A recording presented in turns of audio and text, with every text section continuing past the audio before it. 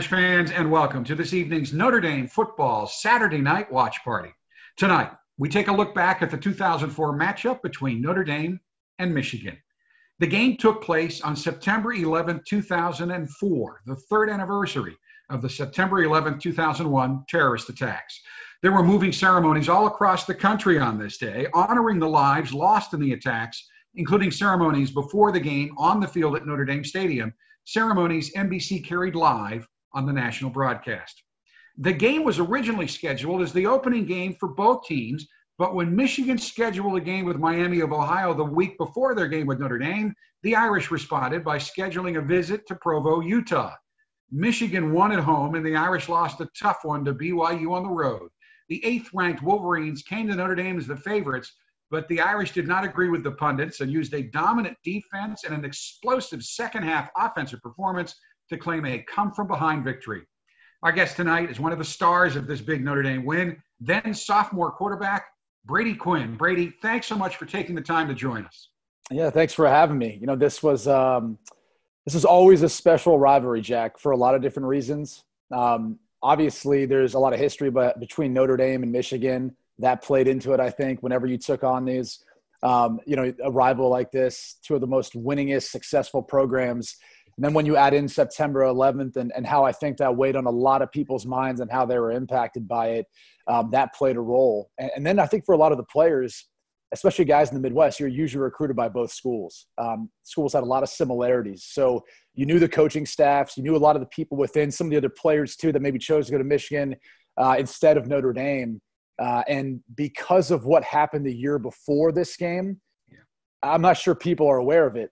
We lost 38 to nothing. Game day was there back in 2003 in Ann Arbor. And Mickey Marotti, one of the best strength coaches in the country, now Ohio State, he made us do 38 reps of whatever it was that next offseason. So the spring, summer, you'd be doing a leg press of 600 pounds. And he'd say, Give me 38 reps. And you're looking at him saying, There's, there's no way. They said, and that's the problem is, is you guys are thinking that there's no way you can do something. You have to think whatever your goals are, they're obtainable. Um, and so this, we try not to circle matchups. This one meant a lot to a lot of people for a lot of reasons. And it was maybe even one of the reasons why, you know, we got off to a slow start um, in the beginning of this game offensively, but also lost to U, or excuse me, BYU uh, week one. I think we had focused so much in training camp on this matchup, on this defense offensively, that maybe we overlooked BYU.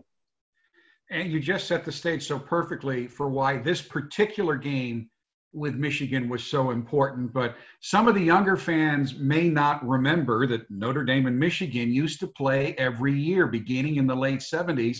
And when you got on campus, that year in and year out resumption of the rivalry was continuing. In fact, you played Michigan four times and beat them twice. So try to explain. Everybody says that Notre Dame USC is the number one rivalry, and you can't argue with that. But in my years here, I've sometimes gotten the sense that there might even be more dislike at times between Notre Dame and Michigan. Talk about the intensity of the rivalry. Well, I would argue that. I would argue that the Notre Dame Michigan rivalry, because of proximity, because of how similar the schools are, you know, our run versus USC when I was there was a little bit tougher. You know, back then um, they were as talented as it gets. You know, you're talking about Alabama, Clemson in regards to recruiting and talent and all that. Now, granted, some of that got wiped away because of what they were doing to get some of those talented recruits, but uh, it was different. You know, with Michigan, there are so many similarities. And, and like I said, because the schools are in such close proximity, you ran into a lot of different people who either rooted for one or the other, or maybe liked both. But uh, that played a big role in it. I mean, for me personally, I almost went to Michigan. Hmm. So there was a piece of me that every time we took on Michigan, I wanted to prove and look across the field at, at the guys across from me and say, yeah, I, I made the right pick. Uh, so my freshman year in that 2003 game, I never, I didn't get until the very end. I think I had my first completion of my career to Anthony Fasano for a first down, um, but that was it. I mean, it, we got drummed bad, and and I would, you know, leaving that field, I remember thinking I was excited that I got a chance to play, and I was excited about what was to come. But I was going, man, if that's what the standard is, we're far from it. So we knew we had a lot of work to do. That wasn't a you know good season for us. But coming into this matchup, Jack, I mean, this was a top ten team in Michigan. At that point in time, they were contending for the Big Ten and they were contending for potential national championships. So um, we knew exactly what you know type type of rivalry this was going to be every year. And I think that one of the reasons why I'd say it was a tougher rivalry than USC in some respects is physically you were so beat up. The week after you played Michigan, you felt like you were in a heavyweight boxing match. I mean, you didn't feel really like you had recovered until about maybe Friday or maybe Saturday of that next game week. Uh, it was just different because it was so physical like that. And, and this game, you know, kind of epitomized it because of the way the first half went a defensive battle, one in which you were trying to kind of figure out the other team's scheme, but also just, you know, really trying to find an edge and trying to find a window of opportunity. Now, if you open the Notre Dame football record books right now, your name remains on top of virtually every Notre Dame quarterback statistical ranking, including all time passing yards, completions, touchdown, passing leader for Notre Dame. When you signed with Notre Dame, is that the kind of impact that you thought you would have? That not only would you leave school leading in all those categories, but now, so many years down the road, that you would still be on top of all those categories?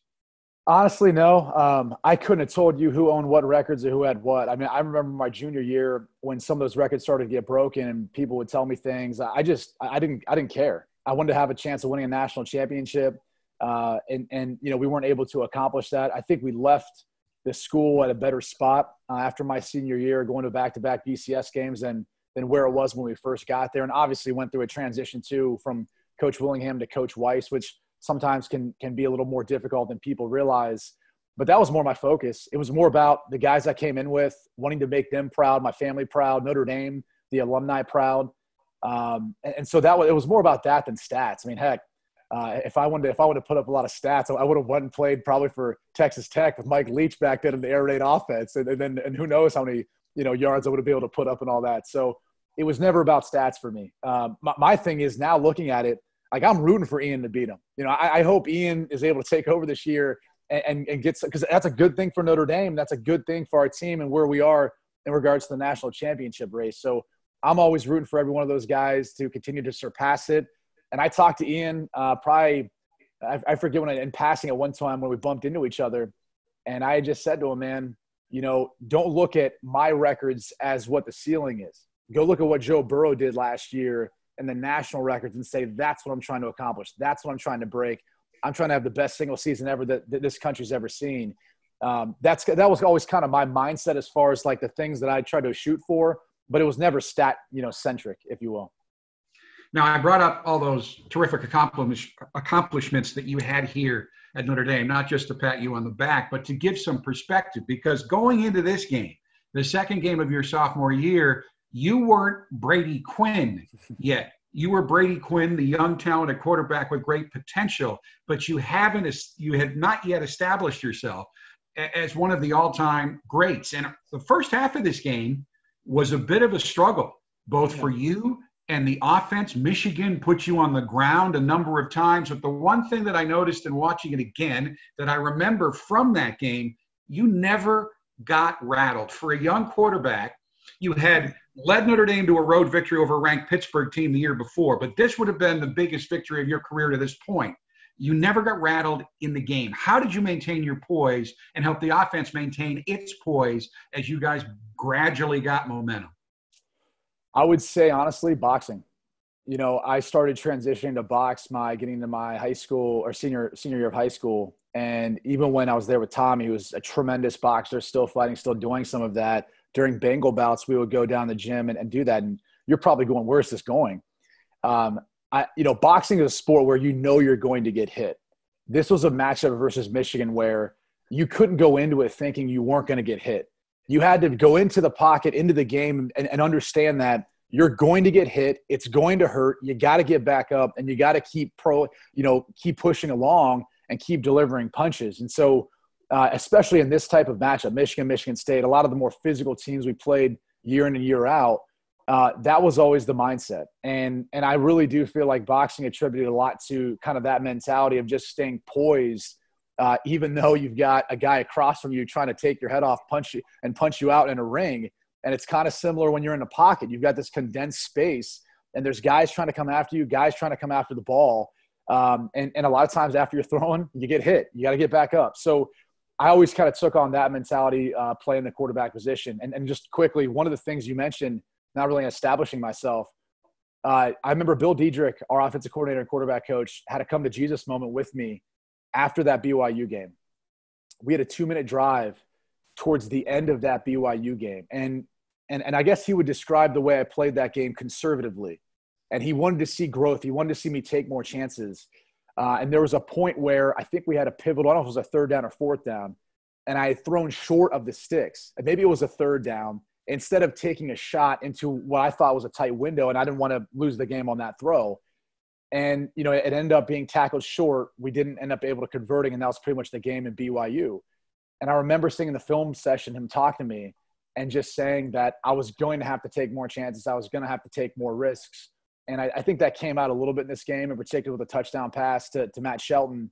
Um, and we could talk about that later on. But that was one of the tough things for me is, you know, you're talking about this being my biggest win. This was a moment for me, not only to prove to Michigan that I picked the right school, but to prove to my own coaching staff, to prove to my own teammates that I was going to be the guy. And Brady, this is already a moment for the Notre Dame football online game watch. As you know, I've been here for almost 40 years, and I just learned something. I had no idea that you were engaged in boxing in your years here at Notre Dame with Tom Zbikowski, one of the toughest guys ever to play for Notre Dame, who went on to a professional boxing career. But we all just learned something, and that's always delightful. So we're going to have fun, folks. He, he, he, gave me a fat lip. He, uh, he actually, we, I mean, we said no headshots. And I think I might have even had headgear on, but he was preparing for one of his fights. And I would go and let him kind of beat me up for a little bit. And I, I get a couple shots in on him. He's got a vicious left hook, but he uh, he caught me a little bit. I remember going into class the next day, sitting there. I'm like, I'm, I'm kind of lick, I got my, like a, a, bump on my lip. And I'm going, I wonder if anyone notices I've got a fat lip right now, if I'm going to hear about this. But um, it, it, was a great form of training. Tom Suttis, who used to be there and helped train a lot of the guys for Bengal bouts, he was a close family friend of ours. So he wanted me to continue my boxing training when I got there. I thought it was very applicable for what you do as a quarterback. Well, folks watching, we have settled on this format where we're going to go to the NBC broadcast now, and Brady and I are going to jump in periodically. Now, we've already been very upfront. Almost all the first half highlights uh, are defensive. So you're not going to see Brady and I again until the second half, but then you're going to see us a lot for big plays on both sides of the ball because, as you now know, Brady is also an accomplished analyst for Fox. So you don't really need me for much more other than to tee Brady up and we are going to do that. And Notre Dame, very tough, great defensive first half. You'll enjoy that. You're going to enjoy everything about the second half. So, right now, let's join the NBC crew of Tom Hammonds, Pat Haden, and Lewis Johnson for the start of this evening's Game Watch 2004 Notre Dame and Michigan. Notre Dame Stadium sold out for the 174th consecutive game for a renewal of one of college football's greatest rivalries as the Michigan Wolverines take on the Notre Dame Fighting Irish. Hello, everyone, and welcome back to Notre Dame Stadium after those uh, moving pregame ceremonies. Tom Hammond and Pat Haden ready for uh, the match between the two winningest teams in the history of 1A college football. And, of course, Michigan opened up at home with a win over Miami of Ohio last week, while Notre Dame lost at BYU. And Michigan, can you imagine being a freshman playing your first game in college and starting before 100,000 people? That's what Chad Henne did, and he came through big time. Well, yeah, this is a pretty good story. Four months removed from his high school graduation leads to that opening game win, his first road test. Really played well. 58% completion percentage, led the team on five drives. But if you're either a freshman or a senior, what you really want is some really talented wide receivers.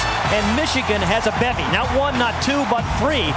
Jason Avant had over about uh, over 800 yards in receptions last year.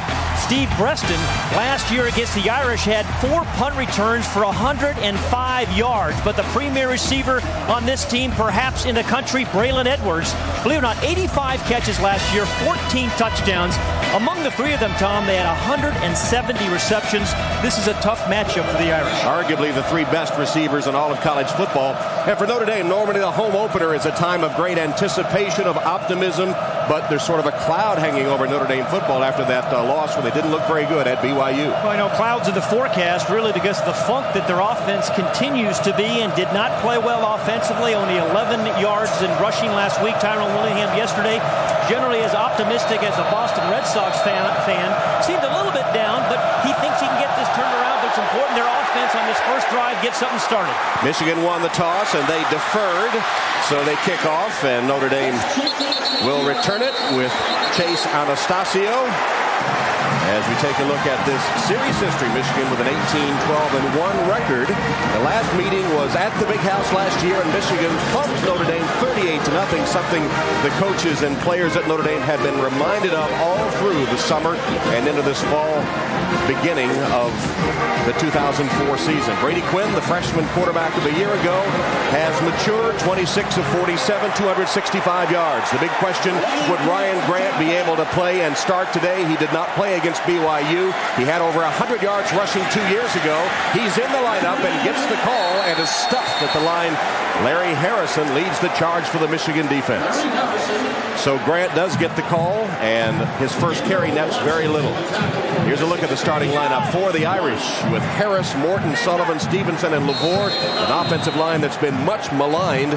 And the remainder of our Adidas starting lineups, Powers, Neal, Grant, Stovall, McKnight, and Palmer. Yeah, and this offensive line, four returning starters. I think they have a chance of being a pretty good offensive line, but they're going to have to play a lot better and protect Brady Quinn a lot better, better than they did last week. Quinn appeared to be changing the play at the line of scrimmage. Grant able to dodge the first couple of tacklers, and then Harrison gets him again with help from Lawrence Reed. It'll be third down for the Irish. That guy's a good tackler. He is. That's Lawrence Reed, their number one tackler, had six in the opener against Miami. Harrison, Watson, and Massey up front. Manning, Reed, McClintock, and Woods. Two of the best corners you'll find anywhere.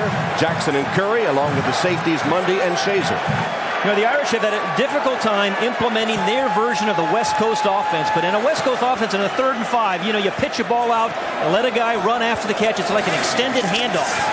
Nickel defense for Michigan. Quinn with plenty of time to Stovall. And Stovall short of the first down. Sure tackle by Ernest Shazor, the safety.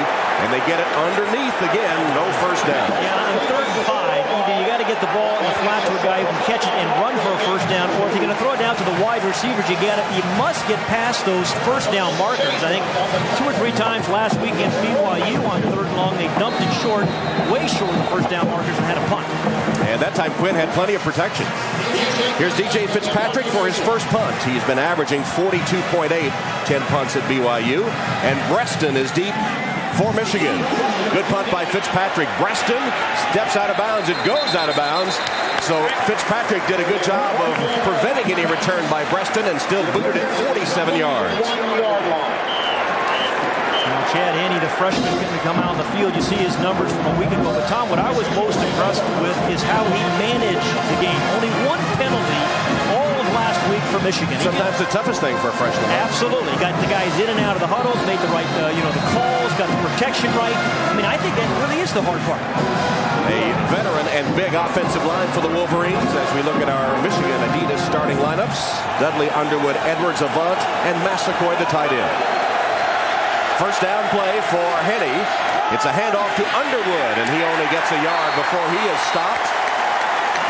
Both teams intent on stopping the run by the other team today. Goolsby and Zbikowski with help from Budinscak. As you see, Tuck, Pauly, Landri, and Budinscak up front starting for the Irish. The linebackers Hoyt Goolsby, the leading tackler, and Curry. Goolsby back after missing last year with injury. Burrell and Zbikowski, the starting safeties. Ellicott Jackson on the corners. Well, Justin Tuck, right down here, is going to have to have a big game and big season for the Irish. Two sacks last week. Henne, a short drop, fires across the middle, incomplete. And there's a penalty marker down. First flag of the game, intended for the tight end, Massaquoi. Mike Goolsby, the middle linebacker, calls their defensive signals, a guy that was out all last year with injury. As you see, number five, Underwood down, but Mike Goolsby, a guy that they desperately need in their defense. I Thought there was is a penalty against Michigan. The referee today, Dave Witvoet from the Big Ten, Big Ten crew, working today's game. As you see other scores in college football this second week of the season, second full week. Underwood, of course, is the uh, senior from Madisonville, Texas, top rusher after that first game against Miami. Getting his chance to play. Uh, eligible downfield. Defense. Penalty is declined. Third down. Third down coming that, up. That can't be right. An eligible receiver uh, defense? No, I just said it wrong. Yeah, right? okay. Um, Kent Baer is the defensive coordinator for Notre Dame, and Underwood getting his chance to play with Chris Perry departing, being tended to on the field right now. As you said, you grew, you grew up in Madisonville, Texas, and a lot of his teammates from high school went to University of Texas, but always dreamed of starting for the Maize and Blue. Right through his hands, Goolsby falling on him. This is a guy that's waited for his opportunity behind Chris Perry. You know, he waited two years to get this chance. Kind of struggled a little bit last week. 22 carries, only 61 yards. The coaches said, you know, we got to get him going. He's a powerful guy, but he danced a little bit too much last week. Wanted him to hit the hole harder and sooner, right? Yeah, he said, you know, the coaches said it's not a sock hop. You know, we need to kind of run it up in there. While they tend to, David Underwood will take a break and be back to Notre Dame Stadium. Six foot, 209 pound junior from Milwaukee replaces the injured David Underwood. And on third down, four wide receivers, Avant, Edwards, Breaston, and Reston and Gonzalez. Nickel defense from the Irish. Henne's pass complete. Edwards stops short of the first down. Braylon Edwards with his first catch after making six in the opener a week ago. Good defensive series for Kent Baer's team. The first defensive series here at home. Got him the, the freshman quarterback in a third long, played a little soft, forced everything in front of him, and a good tackle on the dangerous Braylon Edwards. So Adam Finley is on to punt, and look who's deep. Carlyle Holiday, the former quarterback, now wide receiver, returning punts. Raymond McKnight, uh, Raymond McKnight had been the returner against BYU. But, but Tom, I think if Notre Dame's going to have some some big plays this year, they're going to come from that guy, number seven, Carlyle Holiday, and the Notre Dame coaches have to find a way to create a, a holiday package, if you will. Finley's boot sailing deep. Holiday dodges the first man and the second, and then upended home at about the 32-yard line. Tackle made by Scott McClintock on special teams, a 49-yard punt, and Holiday brought it back nine yards. The, the Irish offense has really started slowly over the years. And you see that it's failed to score in the first quarter 11 times. And I think it's really gotten their offense out of sync. They've been, always been playing catch-up by mid-second quarter. So Bill Diedrick, the offensive coordinator, hoping to find a package that will click in a scoreless game, three and out for each team on its first possession. Fasano resets at tight end. McKnight in motion. First down pass, Quinn. And it's intercepted. Intercepted. Picked off by Markus Curry. That, is tremendous coverage by Markus Curry. He had two interceptions last week in their opening game. It or not, one of 11 Division 1A players who had two interceptions in the first week comes up with his third. Markus Curry and Marlin Jackson on the other side. Pretty good protection here by the offensive line of Notre Dame. The guys up front doing their job. Just a poor decision here by Brady Quinn because Marlin uh, Markus Curry is all over the wide receiver. He was indeed, and his protection breaks down. He should have just thrown it away there. No chance to complete that one to Powers Neal. Perfect position by Curry. So the first turnover of the game, and Michigan has it inside the 40-yard line of Notre Dame. Here's Braylon Edwards in the flat. Tackle made by Tom Zbikowski. First to hit him. Then Brandon Hoyt arrives on the scene. Gain of about five yards on first down. You Braylon Edwards is a guy that's had a remarkable career. Could have left for the National Football League. Probably been a number one draft pick. Decided to come back. He's had two seasons of over a thousand yards in reception. Trying to become the first Big Ten receiver to go three uh, three seasons doing that. But a guy that can do everything: catch the short passes, break some tackles, and then go over the top as well. And his streak is intact. He's in motion here. That's Braylon Edwards. Henne with a draw play handoff. It's to Jerome Jackson. And Jackson, who carried seven times for 25 yards and a touchdown against Miami, gets the first carry here. You know, Tom, as, as impressive as Braylon Edwards is as a wide receiver, what I you don't see too many stars, and he's a star wide receiver, block or have a willingness to play without the ball that Braylon Edwards does. And his blocking, in fact, all three of their wide receivers, they turn those five-yard runs into 20-yard touchdown runs. Third down and two. Two tight ends, Massaquoi and Ecker for the Wolverines. Edwards in motion. Henne, rollout. Deliver. Complete. And Edwards dives ahead for the first down. Braylon Edwards makes a catch and knew right where that first down marker was, made a dive and picked it up for the Wolverines. You know, Terry Malone, the offensive coordinator for the Wolverines, even last week in Henne's very first start as a true freshman, you know, he let him kind of settle in a little bit. Great catch there again by Edwards for the first down. But some aggressive play calling as the game wore on for Chad Henne. And, and as I said, I, I think he got off to a great start last week. He struggled a little bit earlier, early in the game, but I think his players appreciated the way he responded. First down at the Notre Dame 25. Hand off to Jackson. And Jackson plowing ahead to the 20 before Goolsby and Hoyt drag him down. Remember, we were talking to Mike Goolsby yesterday and said we need to win in all three facets of this game to be this good Michigan team. Well, you can't turn it over the way they did here deep yeah. in their own territory either against a good Michigan team. There's Goolsby, the senior from Joliet, Illinois, Joliet Catholic High School, where he was Illinois Player of the Year and an All-American.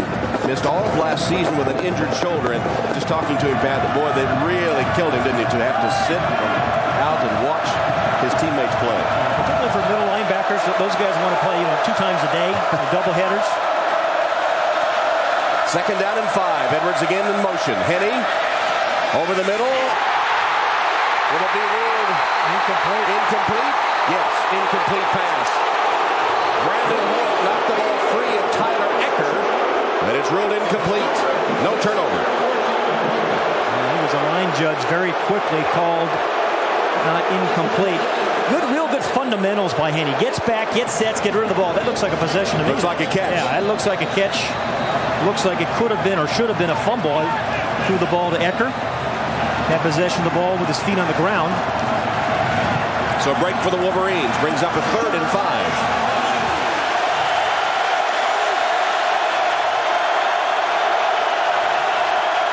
Edwards in motion. Henne. No, he dropped it. No, incomplete. Nice hit again by Tom Zbikowski. The sophomore safety from Arlington Heights, Illinois. Quentin Burrell there too. And boy, the ball comes out of there awfully quickly. A ball that should have been caught yep. by Braylon Edwards and picked up a first down, but Chad Henne had a lot of steam on him. He's got an incredibly strong arm and an accurate one as well. So the field goal attempt by Garrett Rivas, who hit four of six extra points, and a 31-yard field goal against Miami last week. This one 38 yards. 38 yards to give the Wolverines the lead. On its way, it is good. So Michigan converts the interception into three points. The first turnover gives Michigan the lead with 8.29 left in the first. Wolverines three, Irish nothing.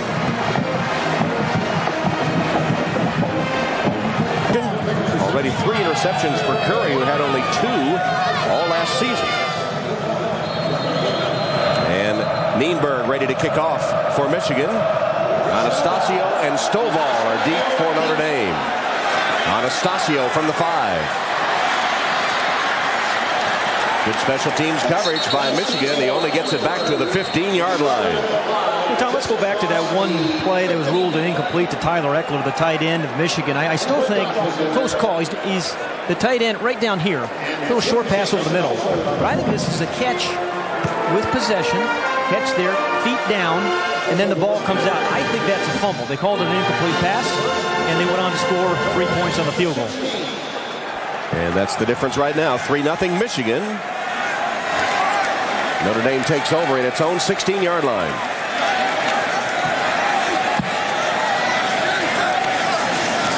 Quinn with a handoff to Marcus Wilson.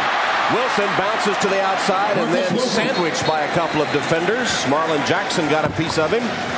And also there was Shazor. So looked like he had a little running room outside, and then it quickly closed for Marcus Wilson, who comes into the game as the number one rusher for the Irish with only 22 yards gained against BYU. You know the story if you subtract the sacks, as is the case in college football, the Irish had only 11 yards rushing against BYU. But if you add those back in, it's only 38 yards yeah. rushing time.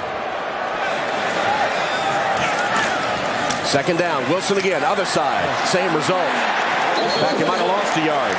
Lawrence Reed was the first to hit him, 42. Well, it was one games last week. If you look at an Irish fan, you have good news and you have the you know the bad news as well. Brady Quinn, 55% completion percentage, which you should have that at least in a West Coast offense. Defense played very well. Kent Baer's defense got 22 yards rushing allowed, five sacks. The bad news, we talked about the rushing yards, only one offensive touchdown in three of 16 on third down, which they're facing right now. Ryan Grant back in, spread formation, four wide receivers. Quinn in trouble, unloaded it to McKnight, but McKnight stopped a yard short of the first down. Tackle made by Pierre Woods, and help from Scott McClintock. Yeah, you know, a little bit of blitz from the outside. McClintock in Marlin Jackson, the corner, blitzing. That frees up one of the defensive linemen to get into Brady Quinn's face. And they force, that's a good blitz there by Scott McClintock, McClintock right off the side. Almost had him, but. Yeah. But McClintock, an inside linebacker, their fastest non-skill player. Fitzpatrick for his second punt. And Breaston deep for Michigan. Sorry, Pat. That's okay. Excuse me. Breaston, a dangerous punter. return. Short punt this time. Fitzpatrick did not get all of that one. And that's what happens sometimes, Tom. I think when you're worried about a punt returner, when you try to kick it too high and you don't get much distance on it.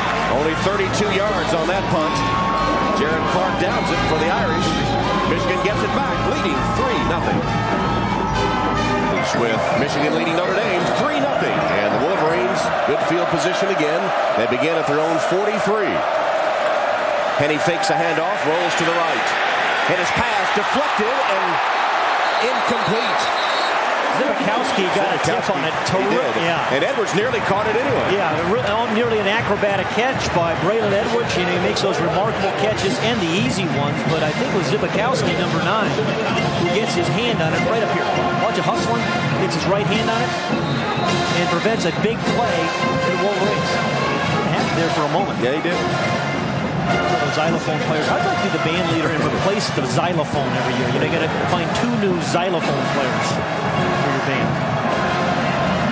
Second down play. Henne in the flat. A big hit by Dwight Ellick. Ellick stopped Breaston in his tracks, Breaston in his tracks. And a loss of about four yards. Yeah, Terry Malone, the offensive coordinator, creates some plays for Steve Breaston to kind of create some runs. A little bit like you know the Irish are thinking about with Carlyle Holiday, but that time incredibly well read by Dwight, Dwight who not only read it well, then he just kind of come down and makes a great tackle. Lucky there's not a fumble there. Breaston, yeah, lucky to hang on to it as three Irish gang tackled him with Ellick the first to hit him. Here's a third down and 15. Again, if you're a quarterback, you always take a look at where number 44 is, Justin Tuck. Breaston in motion, resets. Henne under pressure, sacked. Justin Tuck, the sack specialist, got him at the 30-yard line. There's a flag down. I tell you, Justin Tuck is so quick, and he is so much stronger than he was a year ago, Tom. You know, he's got three sacks this year, all of them face mask against the Irish, I think. But three sacks, all of them on that inside move. He fakes upfield and then comes back down underneath.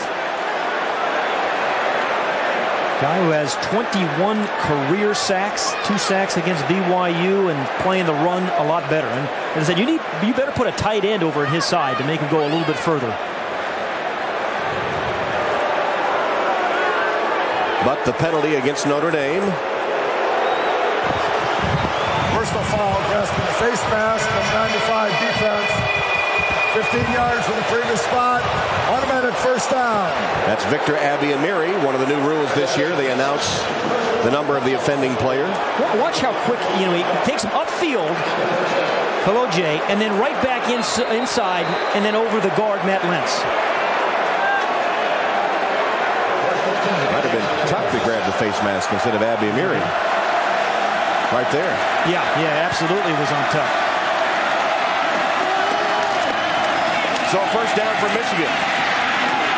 And a nice run. The flag is down. Another flag. Jerome Jackson showing some running ability there. Gain of 10 yards. Quentin Burrell finally made the tackle, but a hold against the Wolverines.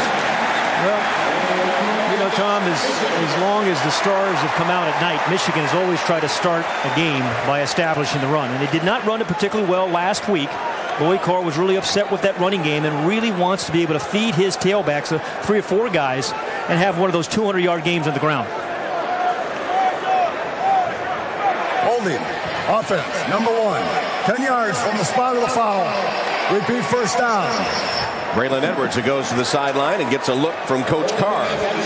For much more on the Fighting Irish, log on to NBCSports.com. Click on a special section, NBC's Notre Dame Central. Pat has analysis. You can get complete post-game coverage of today's Michigan-Notre Dame matchup at NBCSports.com. Tom, a little disappointed. You've downgraded me. I used to be expert analysis. We're waiting to see. Down, Actually, downgraded. the jury is still out. Very disappointed, Tom.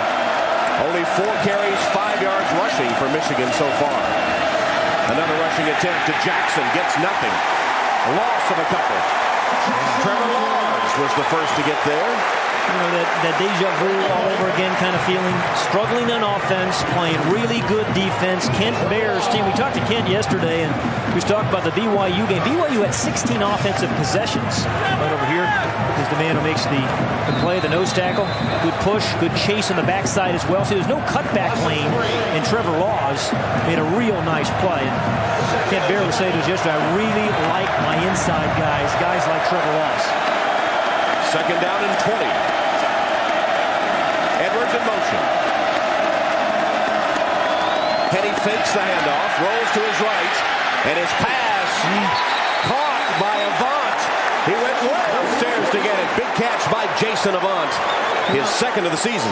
How would you like to be a you know freshman quarterback and have this trio, this bevy? You know, Bevy's now one, Bevy's now two, Bevy's three. Have three receivers like he has. This time, Jason Avant, six one is about six five on this catch. Gets the foot in bounds with possession. You know, really a sure-handed guy and one of those very, very competitive people on a team with a lot of competitive athletes. They went for 15 yards, setting up a third down and five. Third and four, just between four and five. Avant resets to the left. Breaston in motion. Henne, his pass complete. And Breaston dives for the first down. Let's see where they mark it. Looks like he has it. Quentin Burrell tackled him, but Breaston with a dive to pick up the first. You know, Michigan has always been able, seemed to be able to mash the football, run it, but they've thrown the ball surprisingly well. 271 yards a game last year with the John Navarre. What I like is the play calling. I mean, they're they're not holding anything back from Chad Henne. Well, certainly Notre Dame has been able to stop the run from Michigan. That was what they hoped to do, and then put pressure on the freshman. So far, it hasn't bothered the freshman one bit. Would you love to hear Coach one day just say, I don't care how many yards they run for, I'm going to stop the pass this week. That's what I'm really out to do. There's a handoff to Hart. And his first carry nets about eight yards. Tackled by Carlos Campbell and Quentin Burrell. So Lloyd Carr in his 25th year. As a coach, assistant, and head coach. In fact, no one has been on the sideline longer than Lloyd for a Notre Dame-Michigan game. Longest tenures on the coaching staff. Pretty good names, huh? Fielding Yost. Famous names in the history of college football. You mentioned that. This is his 19th Notre Dame Michigan game. In motion, second down. Henne with a handoff to Hart. Close to the first down, stopped by Goolsby. So you see why Kent Baer missed Mike Goolsby last year. See those, those shaved arms he has. He has a little pregame ritual on Fridays. He shaves his arms and he shaves his legs, which is kind of interesting. And he, he puts on a couple of rubber bands on his wrist for good luck. And then his pregame meal, believe it or not, is a Hostess cupcake with orange juice. Obviously not on the Atkins diet. So he doesn't like to eat much before a game. He does eat at halftime, though, he said, too. Goolsby, only a guy 6'4", 240, do you not question him shaving his arms and legs. said it makes him feel faster. Well, he's played pretty well in this first quarter. Third down and one. Jackson manages to pick his way forward for the first down inside the 25 of the Irish. Brandon Hoyt and Dwight Ellick, but not until Jerome Jackson has the first down. Lloyd I thought Carr, interesting guy. We've talked to for the last half dozen years, Tom, right? Taught high school English and history for seven years for $20,000. And told us his first football paid job was a whopping $11,000. He's kind of hung with it. You know, you sense that he kind of loves it or appreciates appreciates it more. He does indeed. I think he's uh, had time to sort of take a step back and enjoy all the positive things about the experience. Here's Jackson again. Jackson with a short game. Let's go down to the sideline now. Check in with Lewis Johnson. All right, Tom. Well, the Michigan running back corps is still missing David Underwood, number five. He has been on the bench for quite a while. Uh, he's been tended to by the trainers. They've looked at his stomach area. We have no definitive answers to what the problem is because Michigan does not release injury information. But Underwood has been pleading with the trainers to please let him back in the game. As you see, he talks with the trainers right now. They're still not allowing him back in the game, and he is frustrated. Yeah, Lewis, you're right. He's a senior that has, you know, one last shot at making his mark. Second down and 10. Henne play action fake. Under pressure, steps up, pass deflected, incomplete. That was Derek uh, Landri, number 66, who got his hands on it right there in the middle. But I, Chad Henne, the, the fundamentals of this rush, he, he, must have had an awfully good high school coach. He gets back quickly. He doesn't drift, which, you know, offensive linemen always like to know where their drop back pass is. To drift right or left, you give up a sack. And then he stepped up into the pocket there and avoided a sack. And last year in high school, while all his friends were on spring break down at the beach or whatever, he came to Ann Arbor, watched film, watched spring practice, and got a head start. It shows. He's 5 of 10, 36 yards so far. Third down and 10. Breaston in motion. Henne.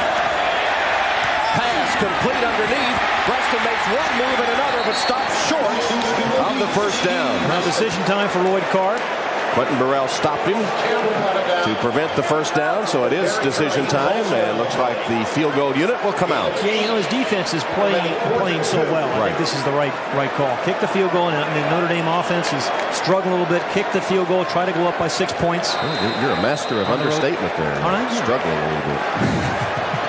well, the West Coast offense, you know, clearly has gotten stuck in on Lake Michigan. Rivas, who hit one earlier, will attempt this one from 33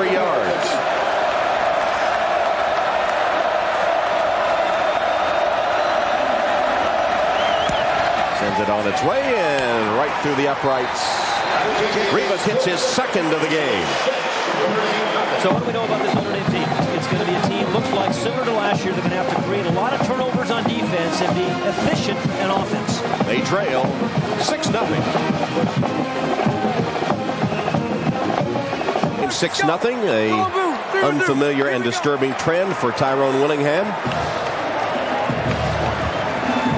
Last season outscored 124-64 in the first quarter. You know, and so this is what, you know, the defense has to make a play or special teams. Maybe a big return here, a 30 or 40 yard return. Gets some, you know, lights a fire. Nienberg's kickoff taken by Stovall at the goal line. Maurice Stovall and again, they stop him short of the 20, this time uh, about the 16, where they stopped Anastasio the last time. So the special teams of Michigan looking much better today than they did against Miami. Tim Jamison on special teams makes the Michigan tackle. Yeah, Notre Dame's had three series so far. They had a three and out, then an interception, then a, then a three and out. And, uh, you know, it always falls on your quarterback. Brady Quinn, the sophomore, had a pretty solid season last year, starting nine games as a true freshman. They just need to find a player or players that can go 20 or 30 yards. And I think maybe one of them's in there now. Darius Walker, the freshman from Lawrenceville, Georgia, highly touted, makes his first appearance. Fake it to him. Quinn rolling. He's going to keep it, and Brady Quinn tiptoeing down the sideline, stepped out of bounds. He had a big long gain, but he'll be marked out of bounds at the 21-yard line instead. Marcus Freeman blocking for him. Quinn stepped out of bounds on the final play of the first quarter. That could have been a 15, 20 yard gain right there. And he is out. His left foot hits it, and then his right. Nice play on first down for Brady Quinn. So it'll be second down for the Irish when we start the second quarter. At the end of the first, Michigan 6, Notre Dame nothing. Back after this from your local station. We start the second quarter with Michigan leading Notre Dame 6 nothing. Tyrone Willingham and company shut out in a first quarter once again. They have yet to pick up a first down. Michigan has 61 total yards, 22 for the Irish. On second down, a handoff to Walker. And the freshman from Lawrenceville, Georgia, understands uh, what the college game is all about on one hit yeah. from the Michigan Wolverines. They stopped him in his tracks after that brilliant high school career in which he broke Herschel Walker's records. That's pretty good company, isn't it? Yeah. And, and, they're looking for somebody to replace the, you know, the plus 20-yard gains that Julius Jones had last year. He had most of the team's dynamic plays, and they need somebody like that. It's going to come from Darius Walker or Carlyle Holiday one of the wide receivers because it's hard, very hard to be methodical and drive 80 yards every time you get the ball. Pitch to Grant on third down, trying to turn the corner. Here's Ryan Grant, hit hard, and he's close to the first down, maybe short. So it'll be marked short as Lawrence Reed, who seems to be everywhere for the Michigan defense, hit him when it looked like he was going to be able to scoot for the first down with a head of steam. That, that's a strong run, though, by Ryan Grant. You know, here's a guy that came into this game. We weren't sure he was even going to be able to play. Held up last week because of a, a sore hamstring, and that was a tough, tough run. And I think you mentioned earlier. It's close of, enough they're going to uh, measure, Pat. Sorry. A couple of years ago against Michigan right here, he had a big game, 132 yards and a couple of touchdowns, and a determined run by Ryan Grant. Get him the first first. I thought it was uh, short, but it was not by the half the length of the football. Notre Dame picks up its initial first down. But, but watch the effort after the hit. He gets turned. I mean, that's an incredible blow that Reed gives him. Just kind of keeps his momentum moving, picks up the first now. You know, it's only two or three extra inches, but, but a significant play. Absolutely. So after the 17th consecutive game in Notre Dame Stadium that Notre Dame has not led after the first quarter, they're trying to mount a drive here to start the second. Darius Walker's back in at tailback. Here's Walker, the freshman, trying to use his blockers. Hits the hole, broke a tackle across the 30-yard line. Nice run by the freshman. Yeah, you know, I think the biggest adjustment for high school running backs, Tom, well, there's really two of them. One of them is not so much when they pitch you the ball to run. It's it's pass blocking, you know, picking up those blitzing linebackers who are 250 pounds and awfully good. And, and the second thing is really securing the football. In college football, there's a lot more stripping of the ball than you're going to find in, in, in high school. Walker picking up five yards on that one. Second down and five.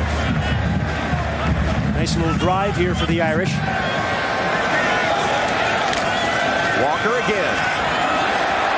Around the corner. Lowers his head and picks up another first down. Marlin Jackson and Ernest Shazor get him out of bounds, but the freshman Darius Walker giving the Notre Dame running attack a boost with help from a nice block from Anthony Fasano, the tight end. Yeah, and Mark LeVoir and Dan Stevenson. Dan Stevenson, the right guard, just went up and gave the freshman a little high five. You know, again, Mark Stevenson actually is, or Dan Stevenson, 6'5". Walker's only 5'11", but it did manage to be a high five. With some very good blocking on the right side by Stevenson, LeVoir, and Fasano. So the ball now at the 38 of Notre Dame. First down for the Irish. And Walker started to go inside, then ducked outside, and was nothing there at all. Maybe should have continued with his first move, which was where the blocking appeared to be. Markus Curry made the tackle for Michigan. But you know, this this is what Notre Dame really needs. It's kind of a, a, drive where they get that running game going a little bit because it gives everybody confidence, it gives the coaching staff confidence, and particularly the offensive linemen.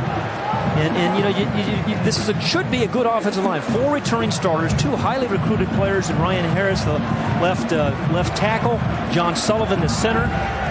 It's a chance of being a very, very good offensive line. Ryan Grant back in at tailback, the lone setback, and a four wide receiver set on second and nine. Brady Quinn.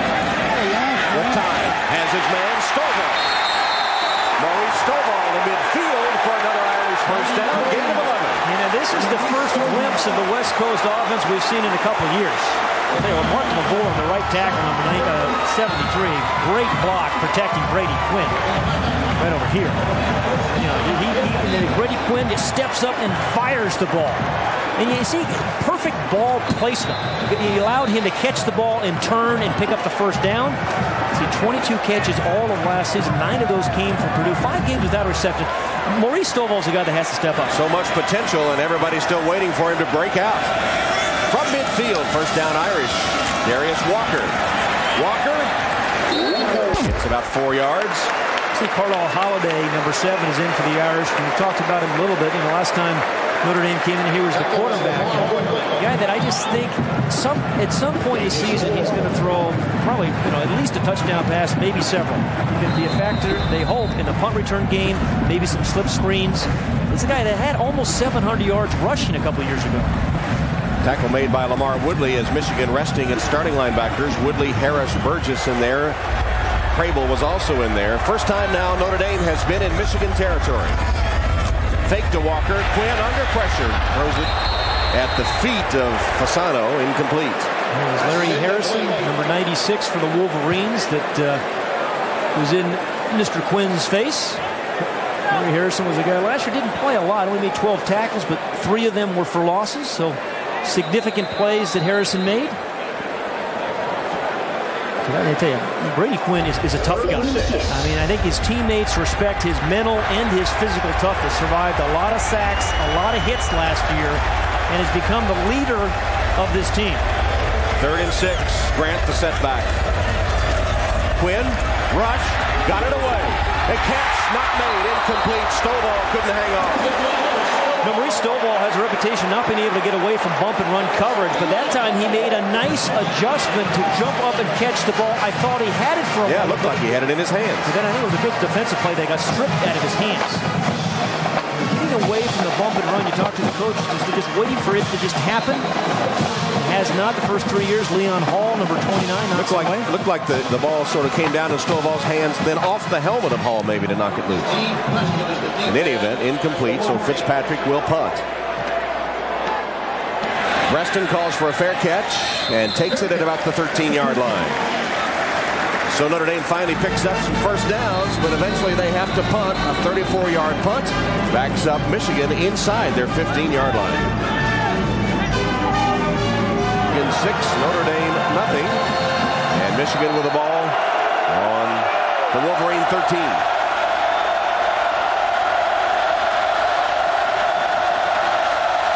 Hand off to Jackson. Not much there. Got a couple yards in the center of the Notre Dame defense.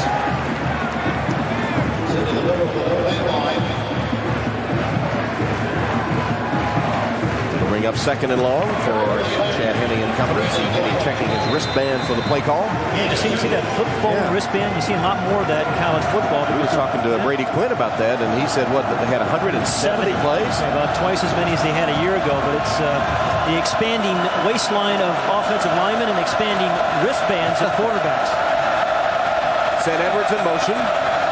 Looks like a blitz coming from the Irish.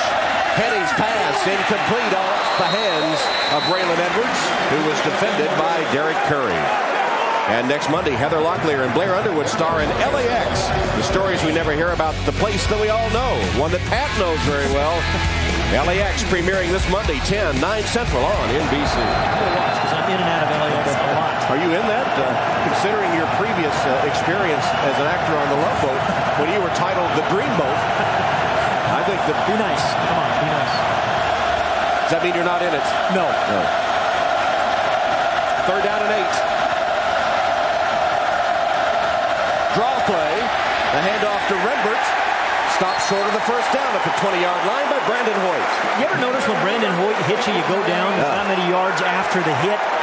Forced two fumbles last week against BYU. A Great story. Writes poetry, a published poem, actually. With the tackles in the iambic pentameter. Gave a reading, as I recall, last year here at uh, Notre Dame of his poetry. Meanwhile, that's Carlyle Holiday awaiting the punt from Adam Finley. How, how about a block punt attempt? Had three punts blocked last year. Irish come, and they almost got it. Holiday fumbled, picked it up, trying to get to the corner. Flag is down, and Holiday is down the sideline, cutting back and to about the 37, but the flag's went down. Looks like it's going to come back. A 29-yard return after a 47-yard punt. And a block on the back, I think. But you, you, you kind of see the, the, kind of plays that Carlyle Holiday, there's the penalty against the yard, that, that can give your team. And I just believe, Tom, they need to give him some, some chances. Throw him a quick screen, pitching the ball, let him run it, let him throw it. During the return, illegal block in the back. On the returning team, number two. 10 yards from the spot of the foul. first down. Freddie Parrish, number two. I think he's right here. I Yep. think that is number That two. is. Yeah, there's a block in the back right there for sure. Yep, that is number two, Freddie Parrish. The fourth. Got a hit with a flag. You see that? so a big return, nullified by a penalty. Irish backed up to their own 30 when we come back. Back at Notre Dame football presented by Lowe's. Notre Dame coming off its best possession of the game so far, their last drive. Bill Diedrick, the offensive coordinator, really has to be happy with that last drive. And Darius Walker kind of kind of sparked it. You know, five carries, 18 yards for the freshman. He's in a tailback now. The fullback is Josh Schmidt. Hand off to Walker. No, fake it to him. Quinn's got it. Going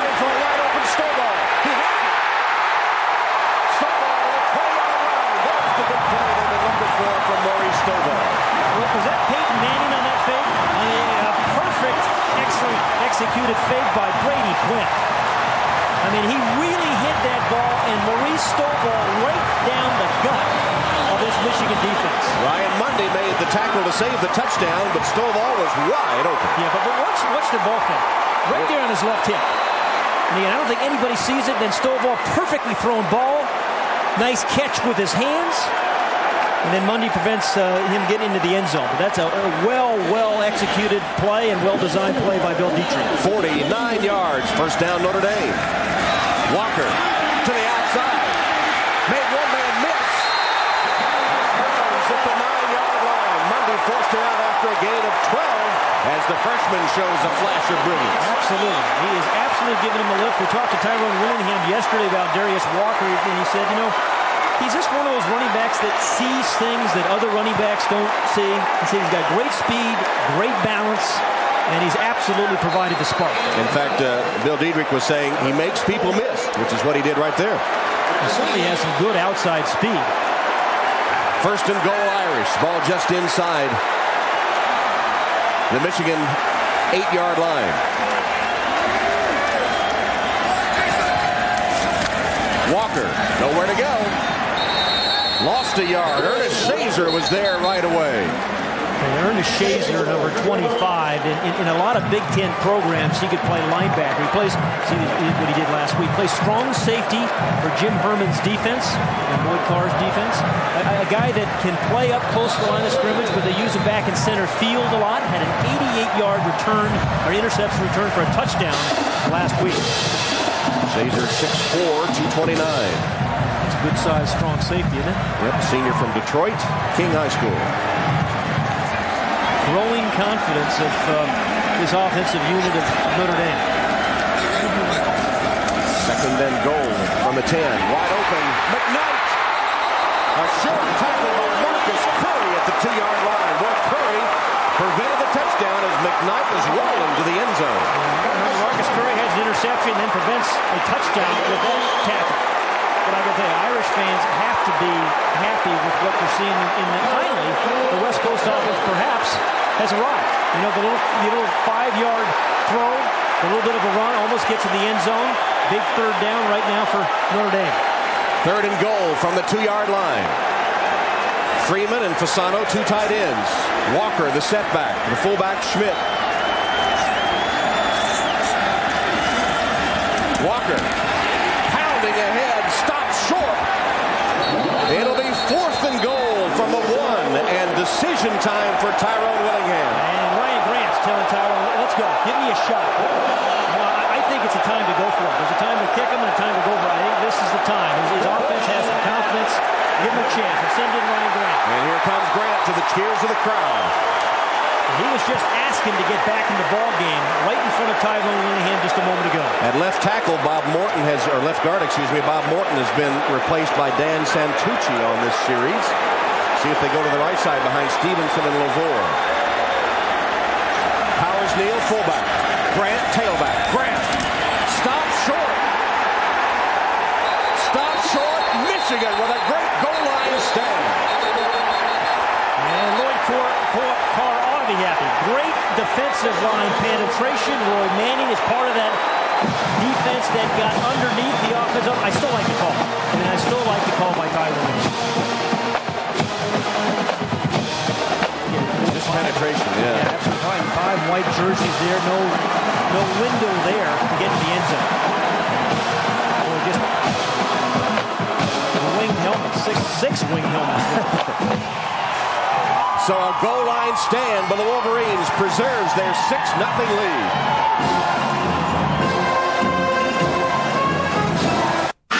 6 0 Michigan after a superb Wolverine goal line stand.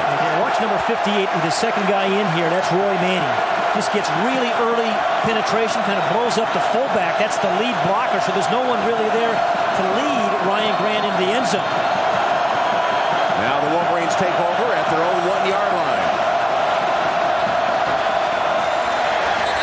Try the center of the line for a yard or two. We were talking to some of the Wolverine players this week about the play of Chad Henne, their freshman quarterback, and Braylon Edwards. I said I thought was kind of interesting. He said to us, you know, he was so calm in the huddle last week. Said I was more nervous than Chad Henne was.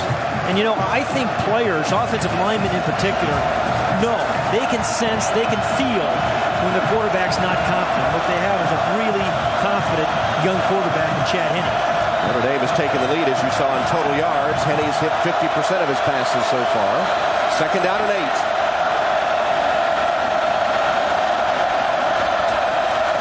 Jackson. Dwight Ellick hopped on him.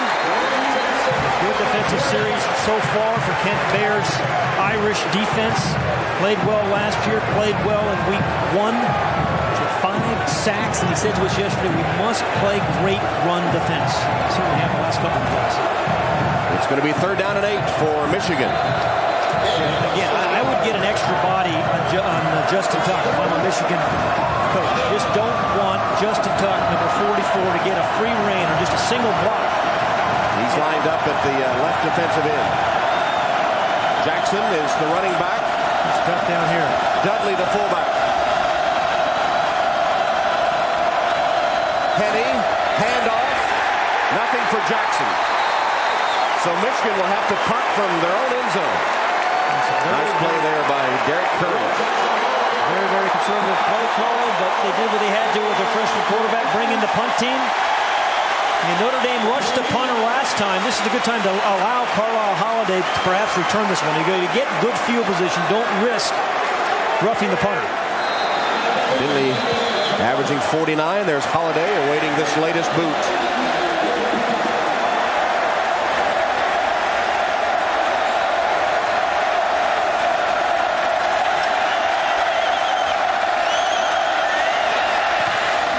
Rush was not on. Here's Holiday. Feels it cleanly and right off the center of the field. Carlyle Holiday cuts back to the 30-yard line. 14-yard return after Finley's 40-yard punt. Tackle made by Tyler Ecker on special teams. Well, last month in Athens, the world came together for competition and patriotism. And next weekend, don't miss golf's ultimate battle for pride and country. That's the Ryder Cup. Tiger Woods leads the Americans on their home soil, looking to reclaim the cup from Team Europe. Ryder Cup begins Friday, 8 a.m. Eastern and Pacific on USA with continuing coverage Saturday and Sunday on NBC. It'll be in Michigan this year. Yeah, Oakland Hills, great old track by Donald Ross.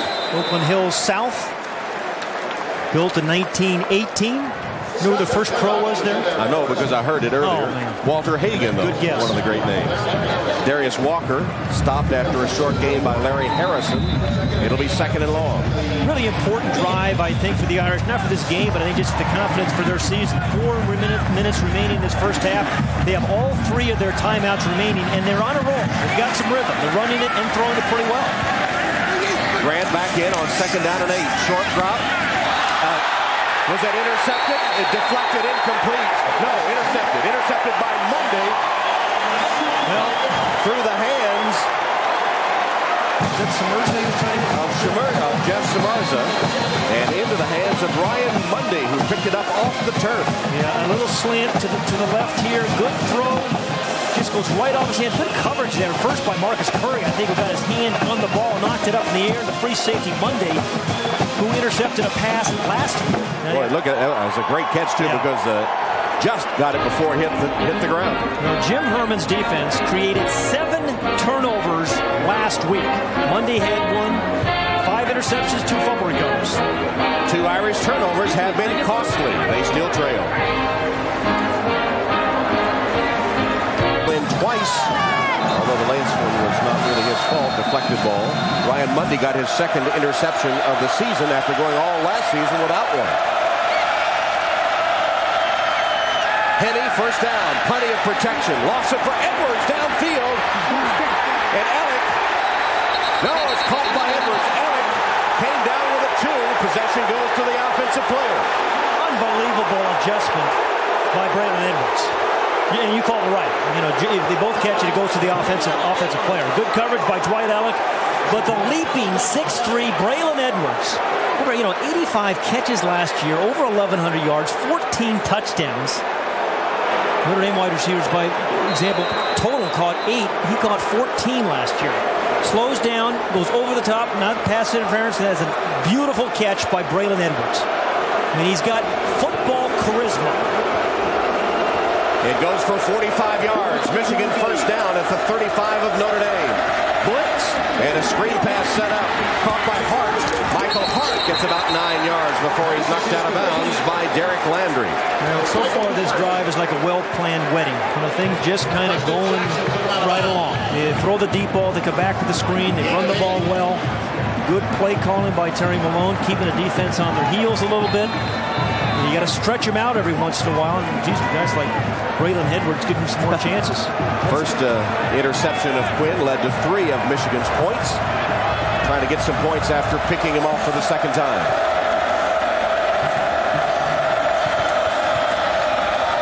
Henne hands off. Hart to the 20-yard line. First down, Michigan.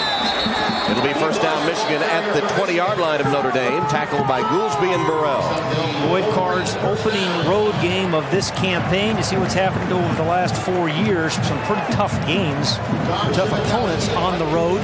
Has not been terribly, terribly successful. And not expect he's expecting Notre Dame to bring their best today. It's obviously not the 38 kind of 38 nothing kind of game he had last year. You impressed with Chad Henne, Tom? Oh, yeah. yeah. You never dreamed he was a freshman.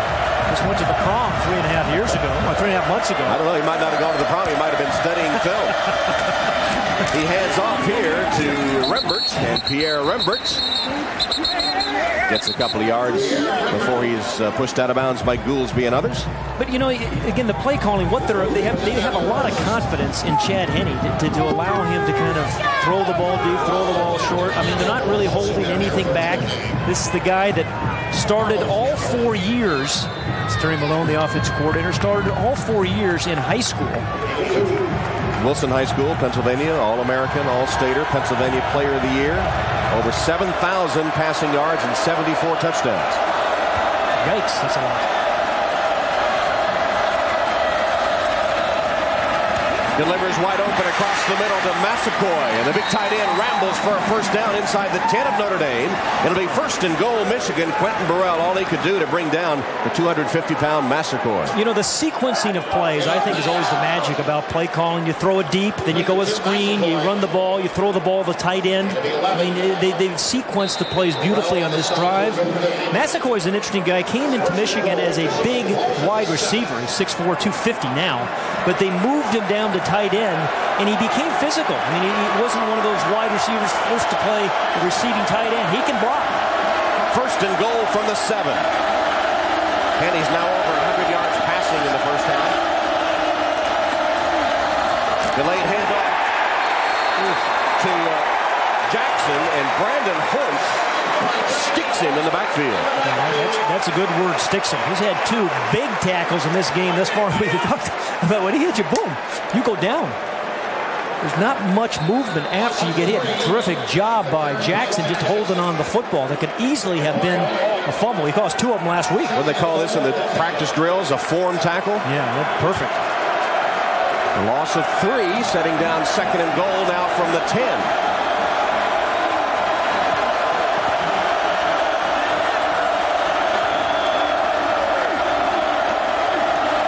Got the play off. Henne's pass complete to Edwards at about the six-yard line, tackled by Zbikowski. It'll be third and goal for the Wolverines. Well, these three wide receivers, well, we've seen the tight end as well. The three wide receivers have already caught seven passes among them in this first half. And Braylon Edwards, a guy at 6'3", they, they like to throw those jump balls down here in the end zone, give him a chance to use that, that height and that leaping ability. Terry Malone said he's one of those guys that kind of jump out of the gym. Or the field in this case. Well, you get the point. Right? You get the... Chad Henne, four for four on this drive. Third down and goal. Henne with a handoff. And Hart stopped at the five. Well, you know, surprising call on, on third and five when you have these three talented wide receivers. I mean, and, and Lloyd Carter said to us this week, we need to get the ball to our playmakers. So, and Henne had the hot hand. He had Yeah. missed a pass on the drive. absolutely, in a critical critical situation, they decided to give the ball to their freshman Michael Hart. And Goolsby, right, filling that hole, which was open for a moment.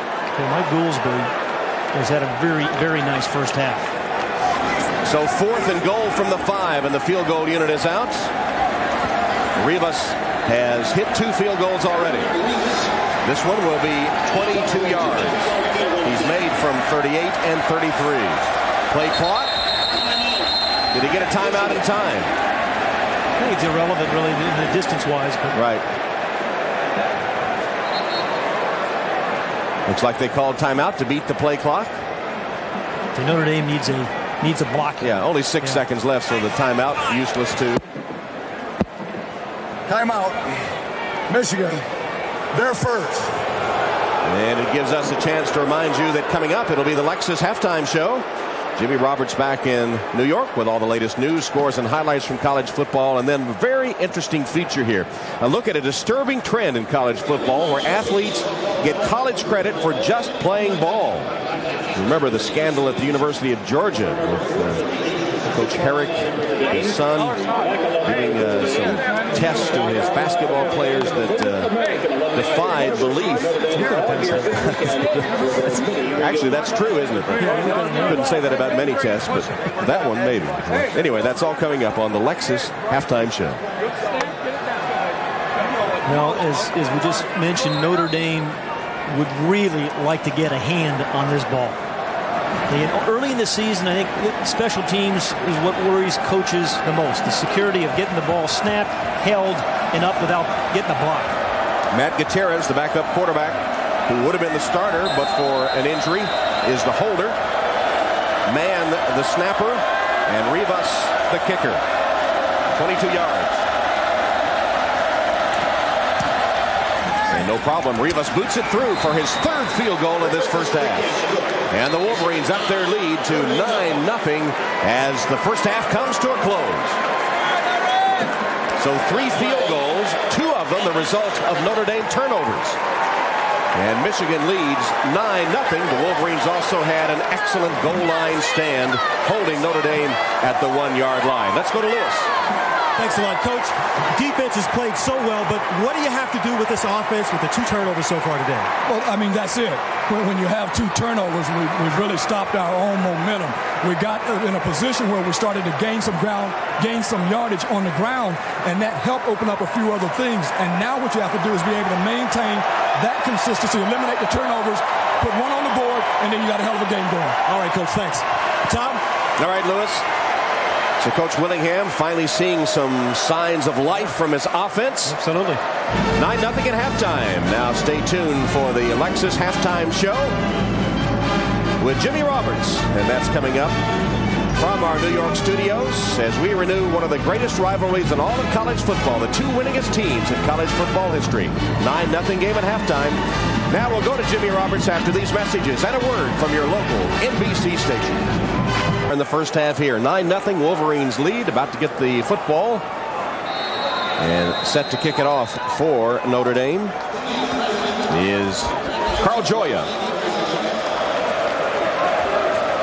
With Breaston and Jackson deep, there's Goya. Gioia. Yeah, yeah. the Irish fans would like to see him a lot on the field a lot more, wouldn't they? A walk on now on scholarship. Gioia puts his foot to it. Taken by Breaston at the one yard line. And Breaston, the flag is down. And Breaston twisted down at the 40 yard line. A big return by Steve Breaston, but a flag on the play. Tackle made on special teams by Anastasio. How about Ryan Robinson last week of Miami, Ohio against against Michigan? He had 204 yards of returns that counted. He had another one called back. He looked very special. This one comes back as we check in with Lewis. All right, Tom, thanks a lot. Well, I talked with Lloyd Carnes, who came out of the tunnel a few moments ago, and asked him about this stingy Notre Dame defense and how is he going to counter that in the first half. He said, really, the, the problem is that they lost David Underwood, their senior running back, early in the game. So now he's running a lot of young running backs out of that backfield, which is a problem. Dropped some passes on offense, but he said overall he's pleased with the way Chad Henne, his uh, young quarterback, is handling it. And you know, going back to last week, Tom, in that game against BYU, he asked Henne, were you nervous then? He said, yeah. He said, well, you're going to be nervous here in this game because this is a big scene, a big situation, but just settle down, take it easy. If you make a mistake, regroup. It would be a tough game for even a fifth-year starter to walk into. Tom? Game last week against Miami of Ohio when Henne performed so well. And a handoff to Jackson. Jermaine Jackson breaking loose for a gain of 12 before Tom Zbikowski tackles him. And the first play of the second half, a big run gain for the Wolverines. And you know, Tom, there's so much more to playing quarterback these days in college football than just dropping back and finding receiver and throwing the ball. We talk about managing the game, you know, getting guys in and out of the huddle so you don't have clock problems, you know, calling the, the protections, getting the formations right. I mean, he's been able to do all those things quite well. And he has a first down after that run by Jackson.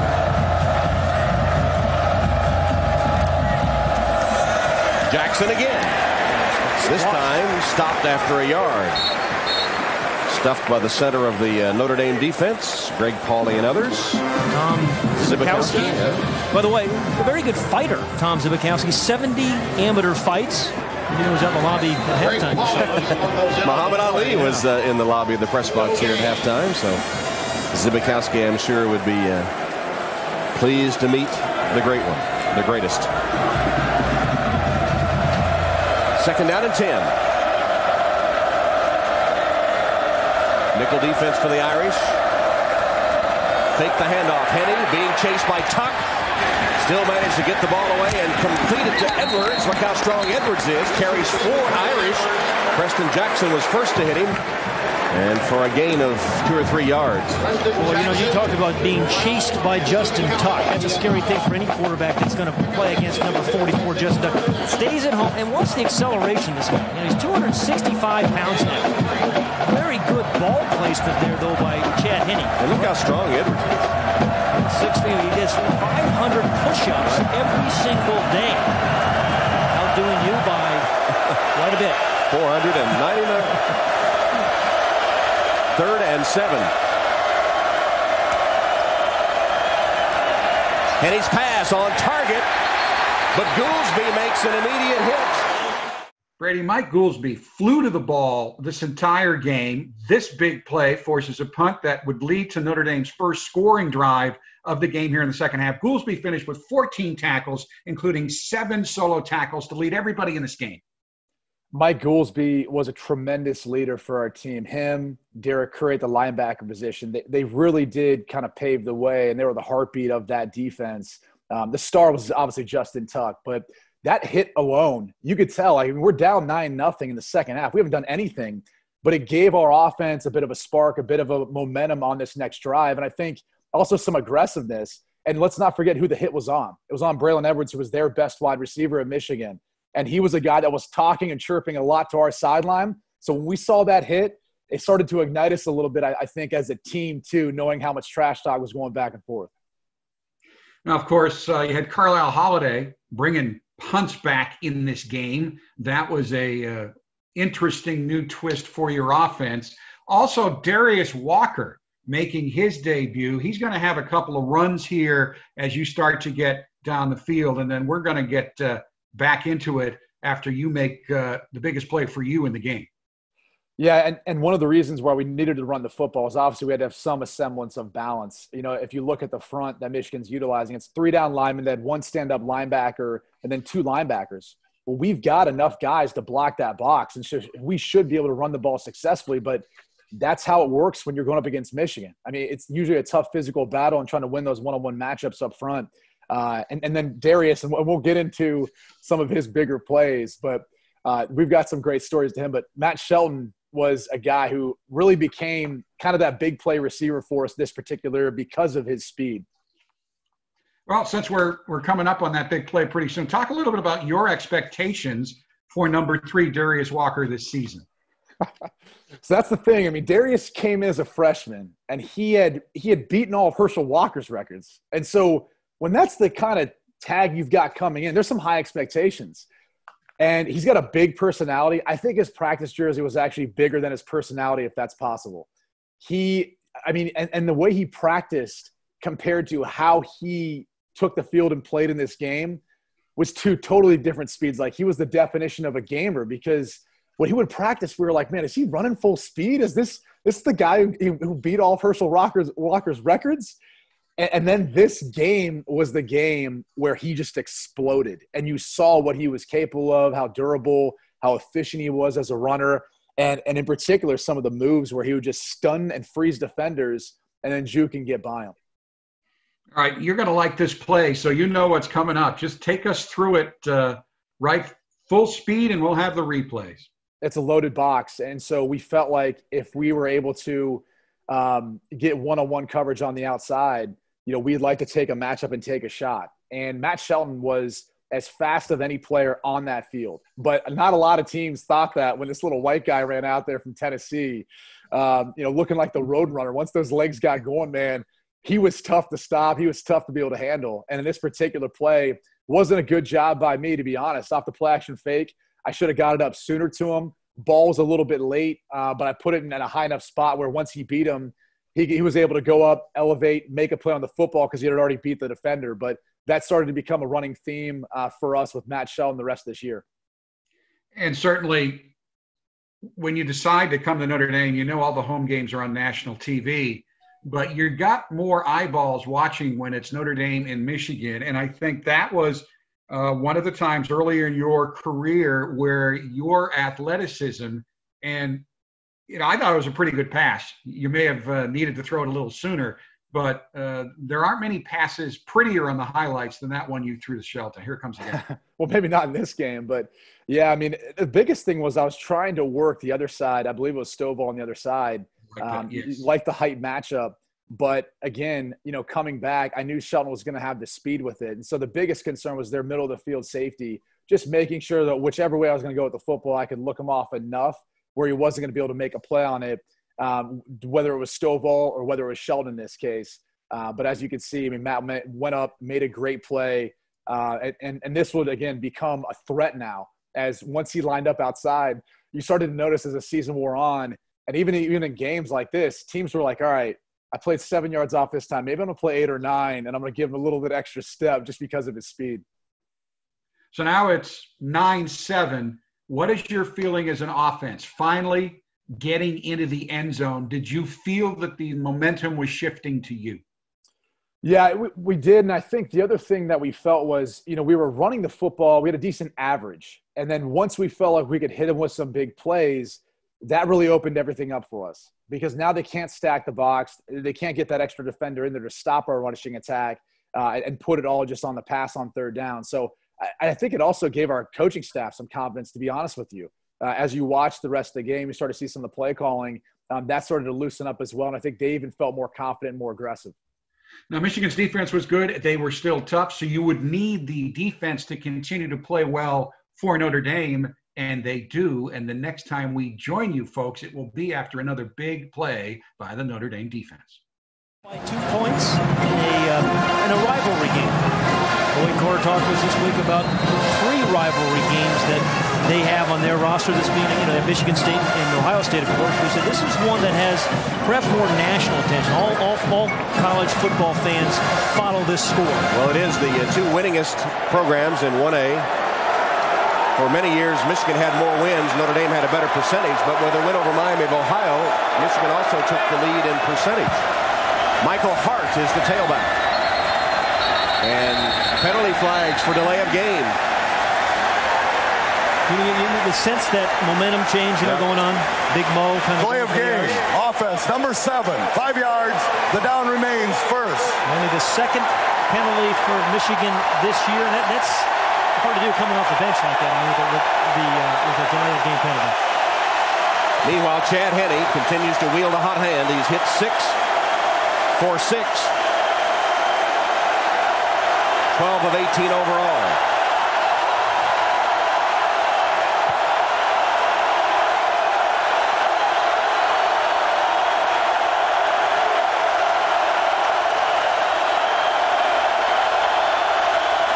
Play action fake. Henne looking downfield, going deep. Edwards can't get there. To you, Pat, that the Edwards really wasn't running full speed? He, he did. You know, the other thing is you got to try to keep the ball in play to give your guy a chance. But I don't know whether he was expecting that ball, but he looked like he was the number one receiver. He is wearing one A little stop and go. Ran one of these earlier, made a real good adjustment. He just couldn't find the way. He did stop. Felt, felt the ball was going out of bounds. We had a nice adjustment on one earlier. You know, we talked about him having football charisma. We had a chance to talk to him this past week. Interesting guy. Very good student, 4.0 last semester. Right. His dad, Stanley, was a Michigan football player and NFL player. Graduate in December. Play action fake. Henne delivers this pass. Oh, Edwards made a sparkling catch as he turned around to make the grab in front of Dwight Ellick for 11 yards. You know, nice play by Michigan, but if there's better ball placement, he catches that, maybe runs for the first down, right? It's just one of those plays. As you watch the tape tomorrow, you'll say, nice, great catch, and, and Chad, you know, hard throw, but if you get it out so he doesn't have to turn back, maybe he can pick up another four or five yards and gets the first. Well, Braylon Edwards, though, is the real deal, that's for sure. Third down and four now for the Wolverines. Three wide receivers, Savant, Edwards, and Breaston. Henne from the shotgun. Crossing pattern, Breaston stopped short of the first down by Carlos Campbell. This Notre Dame defense, you know, the offense has picked it up. Notre Dame defense has played well for a game and a half. And that was a big play and a big tackle by Carlos Campbell right there. Preston Jackson, Dwight Ellick, Carlos Campbell. Campbell was beaten twice last week on long plays, but makes a great stop there, force a punt. Adam Finley back on the field for Michigan. Fifth punt will head toward Carlyle Holiday. Has over 5,000 career punting yards. That's a good or bad stat. Yeah, not necessarily what you want to see. Gets his foot into this one, and Holiday standing at the 15, fields it. Double clutch, flag down.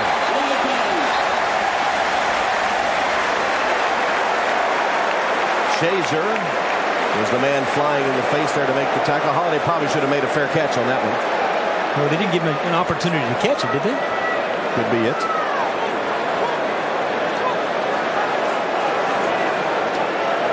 I saw number four kind of run right by him, Darnell Hood. Punt was 42 yards. Six on the return. Let's see if that holds up. Interference with the opportunity. Kick catch interference. 15 yards. First down. That was Darnell Hood. And there it is. That caused uh, Holiday to double clutch. He got control. And before that, big play made on defense by Carlos Campbell. Prevented the first down, and the Irish take over with good field position.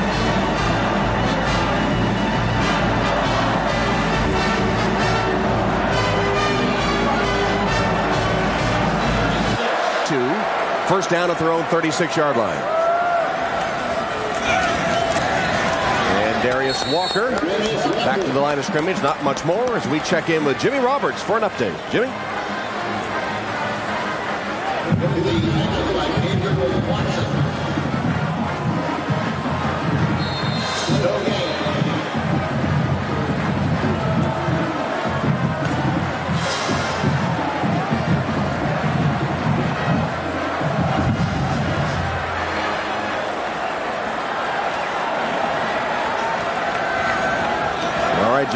Tell you what, the Cardinals have a lot of offensive weapons. Make no mistake about that. Quinn's pass intended for Holiday. A little hand fighting going on with Markus Curry. And it's incomplete. A terrific block there by Darius Walker. We talked earlier about one of the things for a, a young running back is to be able to pass protect. One of the big adjustments for high school running backs. But I tell you, Darius Walker did a terrific job of picking up a blitzing linebacker, number three, right there in the middle of your screen. Right. Yeah, right there on Pierre Woods, the outside linebacker from Michigan. And excellent coverage by Curry to knock the ball away from Holiday. So third down and 10. That'll be five yards. It'll make a third and 15 as Dan Stevenson moved early. Well, Dan Stevenson's played well for the Irish. And only the third penalty on Notre Dame this game. False start. Offense, number 74. Five yards. The down remains third. You know, the, the Irish have had two explosive plays this game, which we didn't see a lot of last year in the passing game in particular. Maurice Stovall had that one long catch and then the touchdown catch by Matt Shelton. And they need another one now. Careful here, though, on third and 15 with Jackson and Curry, those two excellent corners for Michigan. Quinn across the middle, and ball is intercepted, deflected and intercepted. Marcus Freeman should have had it. Lawrence Reed instead comes away with it for Michigan. You know, you, you pick up the stat sheet tomorrow, you say the quarterback threw a third interception. That was not Brady Quinn's fault. A perfect throw inside to Marcus Freeman. He had to throw it hard because there was real tight coverage. And I think he would have picked up the 15 yards for the first down right down the gut. Penny, right off the shoulder. And then Lawrence Reed, who's done such a good job stopping the run, picks up the interception. Well, with good hands, just snatched it right off the grass. Freeman makes the tackle, but another turnover, the third of the day for the Irish that have led to six points for the Wolverines. Hand off to Hart. That's a good linebacker play, Tom, both teams. Indeed. Hart stopped at the line of scrimmage. Dame has succeeded for the most part in stopping the rushing attack of the Wolverines, who lost their starter David Underwood early with an injury. Only 46 rushing yards for Michigan on 22 carries, and just as Kent Baer said to us yesterday, we've got to stop the run for first, force them in a second and long and third and long, and they've done it. And that's why it's a two-point ball game. Three interceptions by Notre Dame, by Michigan off Notre Dame, and two of those off the hands of the receivers. That one complete, just a yard short of the first down to Ecker, the tight end. Tackle made by Mike Goolsby. Tyler Ecker probably made the most significant catch for Michigan all of last year in the fourth quarter against Ohio State. 30-yard catch to keep a drive alive, seal a win over their uh, you know arch enemy, Ohio State. Didn't catch a lot of balls, but very productive. Came back after a uh, two-year Mormon mission last year. It's third down in the yard. Jer Jerome Jackson is the running back. Dudley is the fullback. Dudley in motion. Pass, Henne to Edwards. Edwards goes one-on-one and gets the first down. He got by Ellick. Budinscak then came to get the tackle, but not until Braylon Edwards had the first down. You know, Lloyd Carr can surprise you. You know, he's been there 25 years. He looks like a football traditionalist. You win with defense, you win with special teams, but on a third one, when they really need it. With a freshman quarterback. Freshman quarterback, they throw the ball outside, but, but why not when you have Braylon Edwards? So the drive continues for the Wolverines. They lead at 9-7, trying to convert another Notre Dame turnover into points. Just under seven minutes to go, third quarter. Henne sets up a screen pass, incomplete over the head of Jackson. Pass intended for Jackson. When defensive linemen read that screen, screen early, as Derek Landri, I think it was Trevor Laws as well, they read that screen early, they force that quarterback to lob it. Boy, it's a dangerous throw, and Preston Jackson was almost there. The front seven for Notre Dame, actually all the entire 11 on defensive play. Corey Mays comes in at a linebacker on second and 10. Look at Zbikowski. One of the safeties.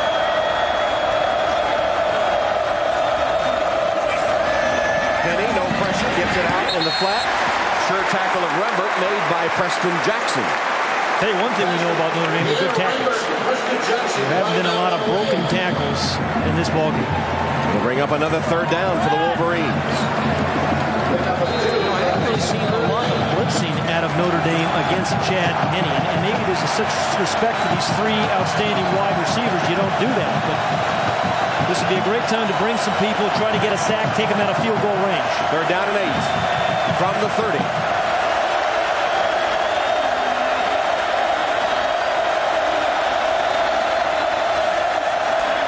Henne, they pick up the blitz, but the pass deflected and incomplete. It may have been Derek Curry from the 49, one of the linebackers who got his hands on the ball, his strong hands on the ball. The field goal team. Already, Garrett Rivas has a career high three field goals in the game. his career long is 47. Watch the, the hand up. No, it wasn't. It was number 66, Derek Landri. He played well earlier in the screen play, uh, pass just a moment ago, too. 47 yards would equal his career high. Rivas puts his foot to it, and it is good.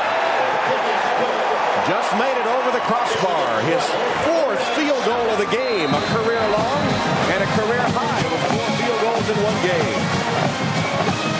Michigan has to settle for another field goal after the Notre Dame turnover. But they extend their lead to 12-7. Third interception thrown by Notre Dame leads to another three points by Michigan. They've gotten 9 of their 12 as a result of those three interceptions. Meanberg's kickoff taken by Anastasio. And Anastasio breaks free for a moment. And then finally taken down after a pretty decent return. And the Irish take over. Now it's time for our Hall's Fruit Breezers screaming fan of the game. Like the outfit, but I don't know. Uh, And you know, it must be a freshman. You never know who might show up at Notre Dame Stadium. That's Dickie V. Both his daughters played tennis here at Notre Dame, but these got to be the winners. Yeah. Is that a chef's hat? They win both the primary. No wonder they're and- green. And the general election. You're right. That would be a parent paying thirty thousand dollars plus up to see your kid doing on Saturdays. Here's Walker on the pitch, trying to sweep. Made a nice cut up. Twisted down beyond the 30-yard line to about the 31. The Irish faithful have to be happy about the way Darius Walker has come in and played in his first game. Did not play last week, and you know he wears number three, kind of a special number around Notre Dame. Joe Montana wore it, Rick Mirer wore it, Alice wore it. He's got 48 yards on 13 carries. You know, good ball security too. They haven't really even come close to fumbling ball. Can't wait to jinx him, can you? Oh, yeah. Hope it doesn't. Second down and four. Here he is trying to sweep on the other side. Powers Neal blocking, but great penetration from Marlin Jackson or Markus Curry. And uh, Reed got into the backfield and made the shoestring tackle on Darius Walker. Markus Curry gave up the touchdown, but boy, he has played very, very well. Remember the, the, the touchdown-saving tackle he made the first half that you know, Notre Dame would have danced to the end zone and had an interception. See the four tackles and the two interceptions last week and another interception this week. So here's a third down play for the Irish. Third down and three from their own 33-yard line. Got the I formation. Walker's the tailback. Powers Neal the fullback. Walker, freshman, hit at the line of scrimmage, falls forward, but appears to be just a bit short. Let's see where they mark it. See that yellow line? Well, he got a pretty good spot, but just short if you believe that yellow line. Pierre Woods made the saving tackle for Michigan. There's a guy that had a big year last year. 14 tackles for loss, seven sacks. You know, I think the right, the right decision here by Tyrone. You just give up too much field position if you go for it. 100 away, you know your defense has played sensationally, which they have. They play their little field position game right now. But again, watch out for Steve Breaston, this guy, number 15.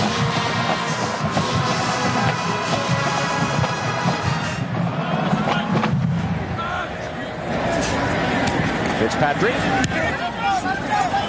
High. Breaston calls a fair catch. Football. Still loose.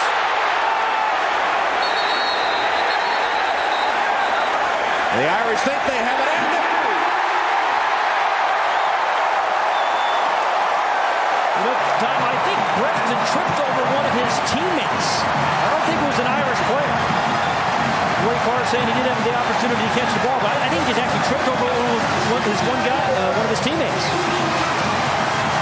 the, the guy who snapped it. I mean, Casey Dunn who made the recovery. Casey Dunn recovers it. Here it is. See, yeah, he just trips over his own guy. So he couldn't field the ball cleanly. And Casey Dunn, who both snapped the ball and then hustled down to make the recovery. Look at coach Carr, he was hot. But as you said, it looked like a, a, Michigan blocker was engaged with the Notre Dame man, and they both sort of got in his way. No call, and the first Michigan turnover. Here's Walker looking for a seam. None there. Lost a yard. Well, that's a perfect opportunity after a turnover like that. Yeah, position, field position to give a little play action fake and get the ball downfield. Woods and Jackson on the stop for Michigan. You know, these long snappers, you know, they don't get a lot of a lot of credit. Oftentimes they're walk-ons, as Casey Dunn was. And then you work and you work and you work, and you know the most one of the most important people on your team. You can't get that ball back, and you're going to get a punt off. Ryan Grant comes in at tailback.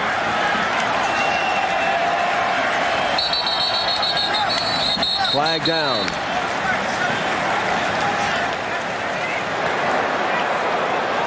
And a step off coming against Notre Dame. False start. Offense, 76. Five yards. The down remains second. That was Bob Morton with a false start. I'll take another look at the punt return fumble. There's the signal for the fair catch, but his right foot just trips over his teammate. Right. So he just turned him sideways. yeah. It? Never can gather the ball. It's a good call by the officials. A no call, I should say. Second down now. Quinn being chased. Got away. Throws a dangerous pass incomplete. Intended for Fasano, I believe. Right to the sideline. Yes, it was. Okay, Brady Quinn is a you know is a young quarterback, a young man easy to like. I mean, he's got a lot of you know, charisma about him, got great leadership skills, and from January on, even though he was a true freshman last year, the coach said he kind of took over the leadership role of this team, and they're only going to go so uh, as far as they can offensively, as well as he plays, and he has great great ability if they can protect him. Uh, hit way too many times last week and last season. Third down and 16. And a timeout has been taken by Notre Dame. Timeout Irish facing a big third and long when we come back to Notre Dame Stadium. Final minutes of the third quarter. While we are away, the uh, band's dueling with the two best fight songs in all of college football. The victors for Michigan and the victory march for Notre Dame. It'll be about a week before those get out of my head. Big third down and long here for Notre Dame. At least want to get into field goal range. Brady Quinn, plenty of times, going for six. Stovall's there.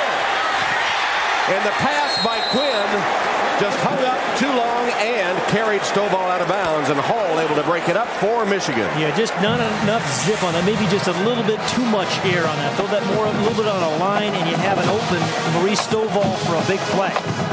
Good catch-up speed by Leon Hall. Kind of the, their third corner, but a legit corner. But Stovall was behind him. Yeah. The pass just hung up too long, and Hall was able to recover. So it means a punt. Yeah, you can't punt this ball in the end zone. This is one you're, you're playing a game of field position right now. Fitzpatrick. Low line drive punt. Just pooch it down.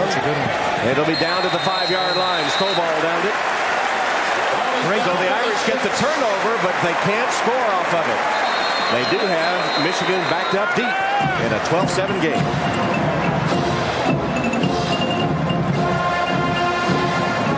Represented by Lowe's.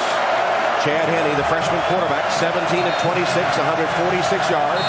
Completed passes to seven different receivers, but they're backed up at their five-yard line. Hand off to Jackson. Jerome Jackson, two or three tough yards. Let's go down to Lewis. All right, Tom, thanks so much. Well, at the beginning of this game, all the Notre Dame players were running out of the tunnel, and I saw the senior linebacker, Derek Curry, come onto the field with this big chain. And I said, Derek, what in the world is this all about? He said it represents one thing for our defense, unity. He said, look at the links. The links of this chain cannot be broken. And that is what the Notre Dame defense has been hanging on today, linking together, trying to stop this Michigan offense. So far, they're doing pretty well. Tom? All right, Lewis. Uh, are you supposed to wear shorts after Labor Day, Pat? oh, I knew you guys would catch me on that one. I, the shaved leg look works for Lewis. No, I didn't shave my legs, Tom. I promise you that. You know, I really think you ought to sue those legs for lack of support, Lewis. How about the chain? Does that go with it at all? That is. Usually there's a dog attached to a chain that large. the dogs are out on the field, Pat. Braylon Edwards with that reception, a yard short of the first down. Third down and a yard. Yeah, but Lewis mentioned, you know, Derek Curry. A lot of good linebacker play, and Curry and Goolsby and Brandon Hoyte in particular for Notre Dame. Third down and a yard.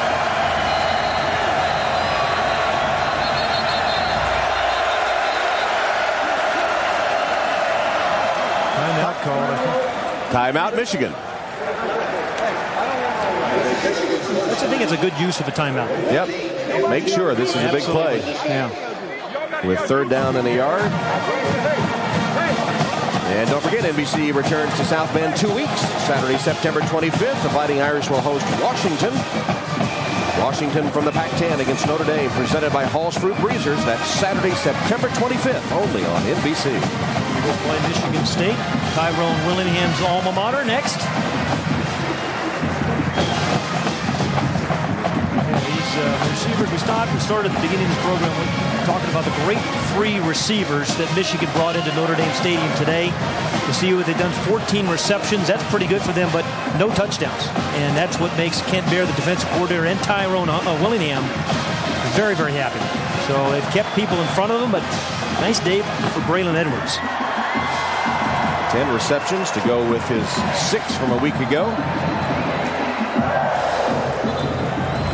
Sole possession of second place all time on the Michigan receiving record book. 26 career touchdown receptions by Edwards. Now third and one for the Wolverines. Jerome Jackson in at running back. The fullback, the good blocker, Kevin Dudley. And he's a really good blocker, that fullback. Jackson pounding ahead for the first down. You know, we haven't seen much of Kevin Dudley today because of so many three and four wide receiver sets, but number 32 for the Michigan Wolverines, really a devastating blocker. And, uh, you know, he's been lobbying Lloyd Carr all summer long about being able to score a touchdown. Well, he got his first carry last week, right? Yeah. As Jackson uh, gets the first down, Lloyd Carr applauds the fact that the Wolverines escaped the shadow of their own goal line to keep the drive going. Approaching the 30-second mark in this third quarter. Henne, play action fake, first down pass on target and intercepted. Another play by Dwight Ellick, one of a number of players in this game, Brady, on the defensive side, who had really good games. He had a really good game because he had good speed, and we felt like that was a matchup that uh, Coach Willingham, Kent Baer, defensive coordinator, felt comfortable with going into the game, matching up versus Braylon Edwards. But you got to look at the throw. So this is Chad Henne. He was a freshman. You know, this is a big proving moment for him. The ball comes out, it's catchable, a little high. You know, and, and, and Braylon, again, as I said to, to you earlier, a lot of trash talking on that sideline. So you better believe this sparked even more momentum for us. Talked about the Goolsby tackle on him, but now after the tip, this sparked you know some even more excitement and I think some momentum too on our sideline, getting us the football back, um, where, where we can now gain some confidence on offense. Last play of the third quarter, Walker with a gain, and Michigan's defense still giving you guys fits. You're gradually getting momentum, but you're winning the field position battle throughout the second half because you only made one mistake in terms of a turnover in the second half. And with the defense in the kicking game, you kept Michigan on their side of the field for most of the second half. And that was part of the key, I think. Anytime you're in a tight, contested game, you know that eventually you're going to be able to make some plays and make something happen. You know, you just got to try to win the field position battle, make it easier on yourself, limit, you know, the additional first downs you have to get, and play solid, sound football. And so at this point, you know, knowing how young our offense was, when you think about guys like Maurice Stovall and Anthony Fasano and myself, John Sullivan at center, Ryan Harris at left tackle. I mean, we were a really Darius Walker, you know, a freshman running back. We were a young group. And so we still had some growing up to do. Our defense really helped carry us throughout this game and in large parts in this season, especially for some other big wins down the road versus like Tennessee, for example, on the road in Knoxville. It was a lot of defensive led because that was our, our older veteran kind of leadership that we had on the team that helped us along through those tough times. And as we begin the fourth quarter here, one of the uh, great things about the offense in this game is that you did try a couple trick plays. This one didn't work. Uh, and will try to throw it to Ryan Harris later in this drive as well. But it was the basic plays that did work, including a couple of completions you're about to make. to set up Darius Walker for his first career touchdown run. Yeah, again, this is what comes with the confidence that you get once you start, you know, breaking some things open. You feel like, all right, let's try something a little bit different. And look at the target is Matt Shelton. Uh, we wanted to utilize that speed. He was working against Marlin Jackson, who ended up going on playing in the NFL. He was a really good cornerback at the college football level. Uh, but you know, sometimes you have to do some of those things too to create a little bit of excitement, to create something on offense, to try to find a spark, especially when things are, are struggling. And this is a big play, a third down that you needed to convert. Yeah, and they brought pressure to the left side. And so the quick adjustment for us, or what we call in that point in time, is usually a side adjust, is you know throwing a quick slant where Murray Stovall breaks off his route. Uh, this is something that Maurice and I had a great feel for. And, and actually, in my first um, start, my true freshman year, the year before, um, you know, one of my, my first big plays was an 80 yard touchdown pass to Maurice on something very similar. Where when I came back, I knew that there was going to be a free defender. I hit him. He took it 80 yards to the house. This is just another example of that and what we'd call a side adjust. Now, I will see Ryan Harris at least by the fall because he's part of our radio crew now. Does he ever mention this play to you?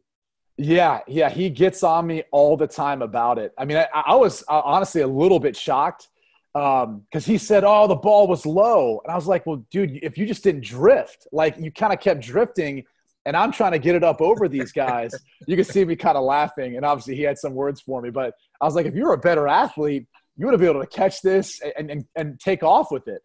So, um, you know, not a, not a great throw on my part, um, but you know, if, if he, we had a diagram where he would go kind of down the sidewalk, but again, he kind of kept drifting, and that's the hard. That's what you learn as a quarterback, especially a young one. Those big offensive linemen, when they do have their opportunity, you have to throw it just right, just perfect to give him a chance. Bill Diedrick really pulling all the stops on the plays in this game. So when you throw to a lineman and you don't complete it, you throw it again to one of the up income stars on the Notre Dame football team. Yeah, uh, and that was kind of ended up being a little bit of a connection that Maurice Stovall and I started to develop. Uh, Rhema McKnight as well throughout our career. Uh, Jeff Samardzija, obviously everyone's kind of aware of the connection we had, but Maurice is one where uh, he was one of the easiest guys to be a teammate with. And reason being is he was always going to be where you told him to be, or he was always going to communicate with you as a quarterback what he saw or where he feels like the soft spot in the defense is, or if he can beat a guy and how he's going to beat a guy.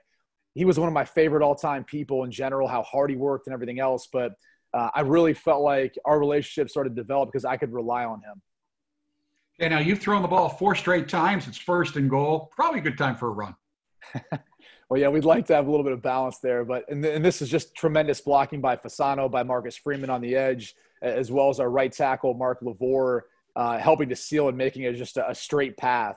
And, and you, I mean, we talked about momentum earlier with the Goolsby hit and then our offense sparking with a big play.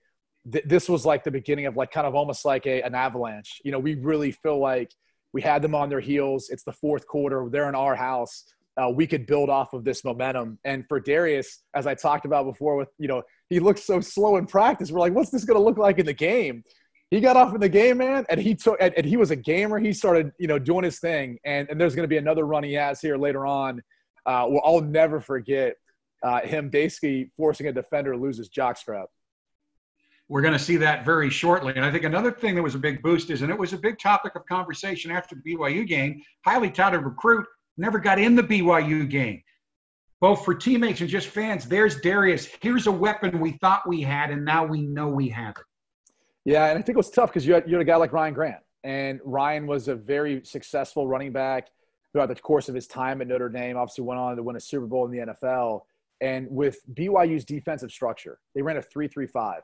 It's really difficult to prepare for. And, and like I said earlier, maybe one of the reasons why we had overlooked BYU a little bit from a scheme perspective was we were so fixated on Michigan and that top 10 matchup that we didn't necessarily feel as prepared for a lot of the blitzes and things they brought.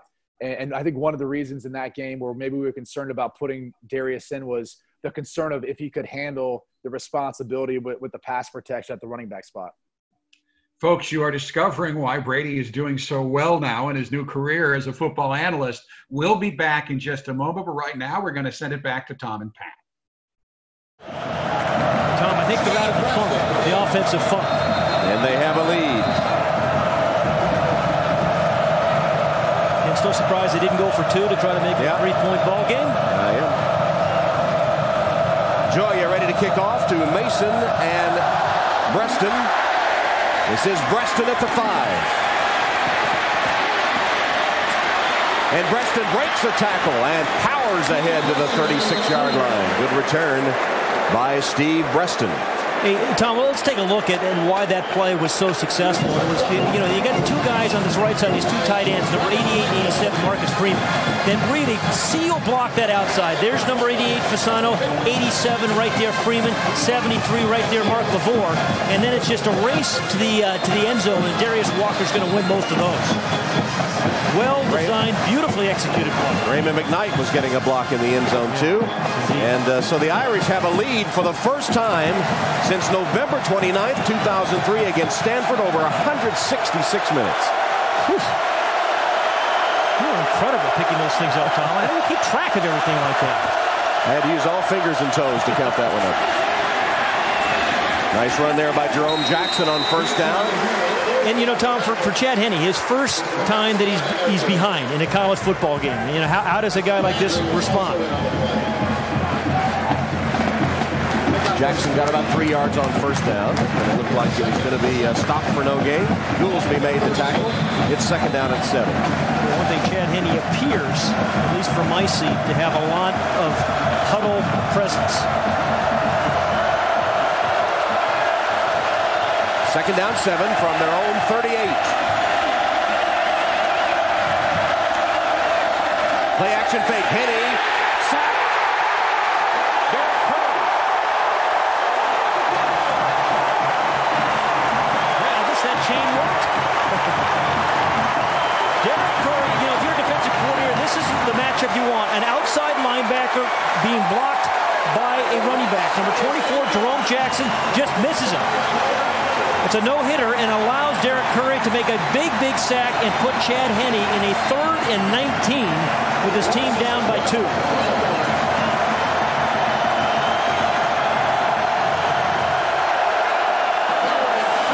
And a look at Curry, who had to come out of the game.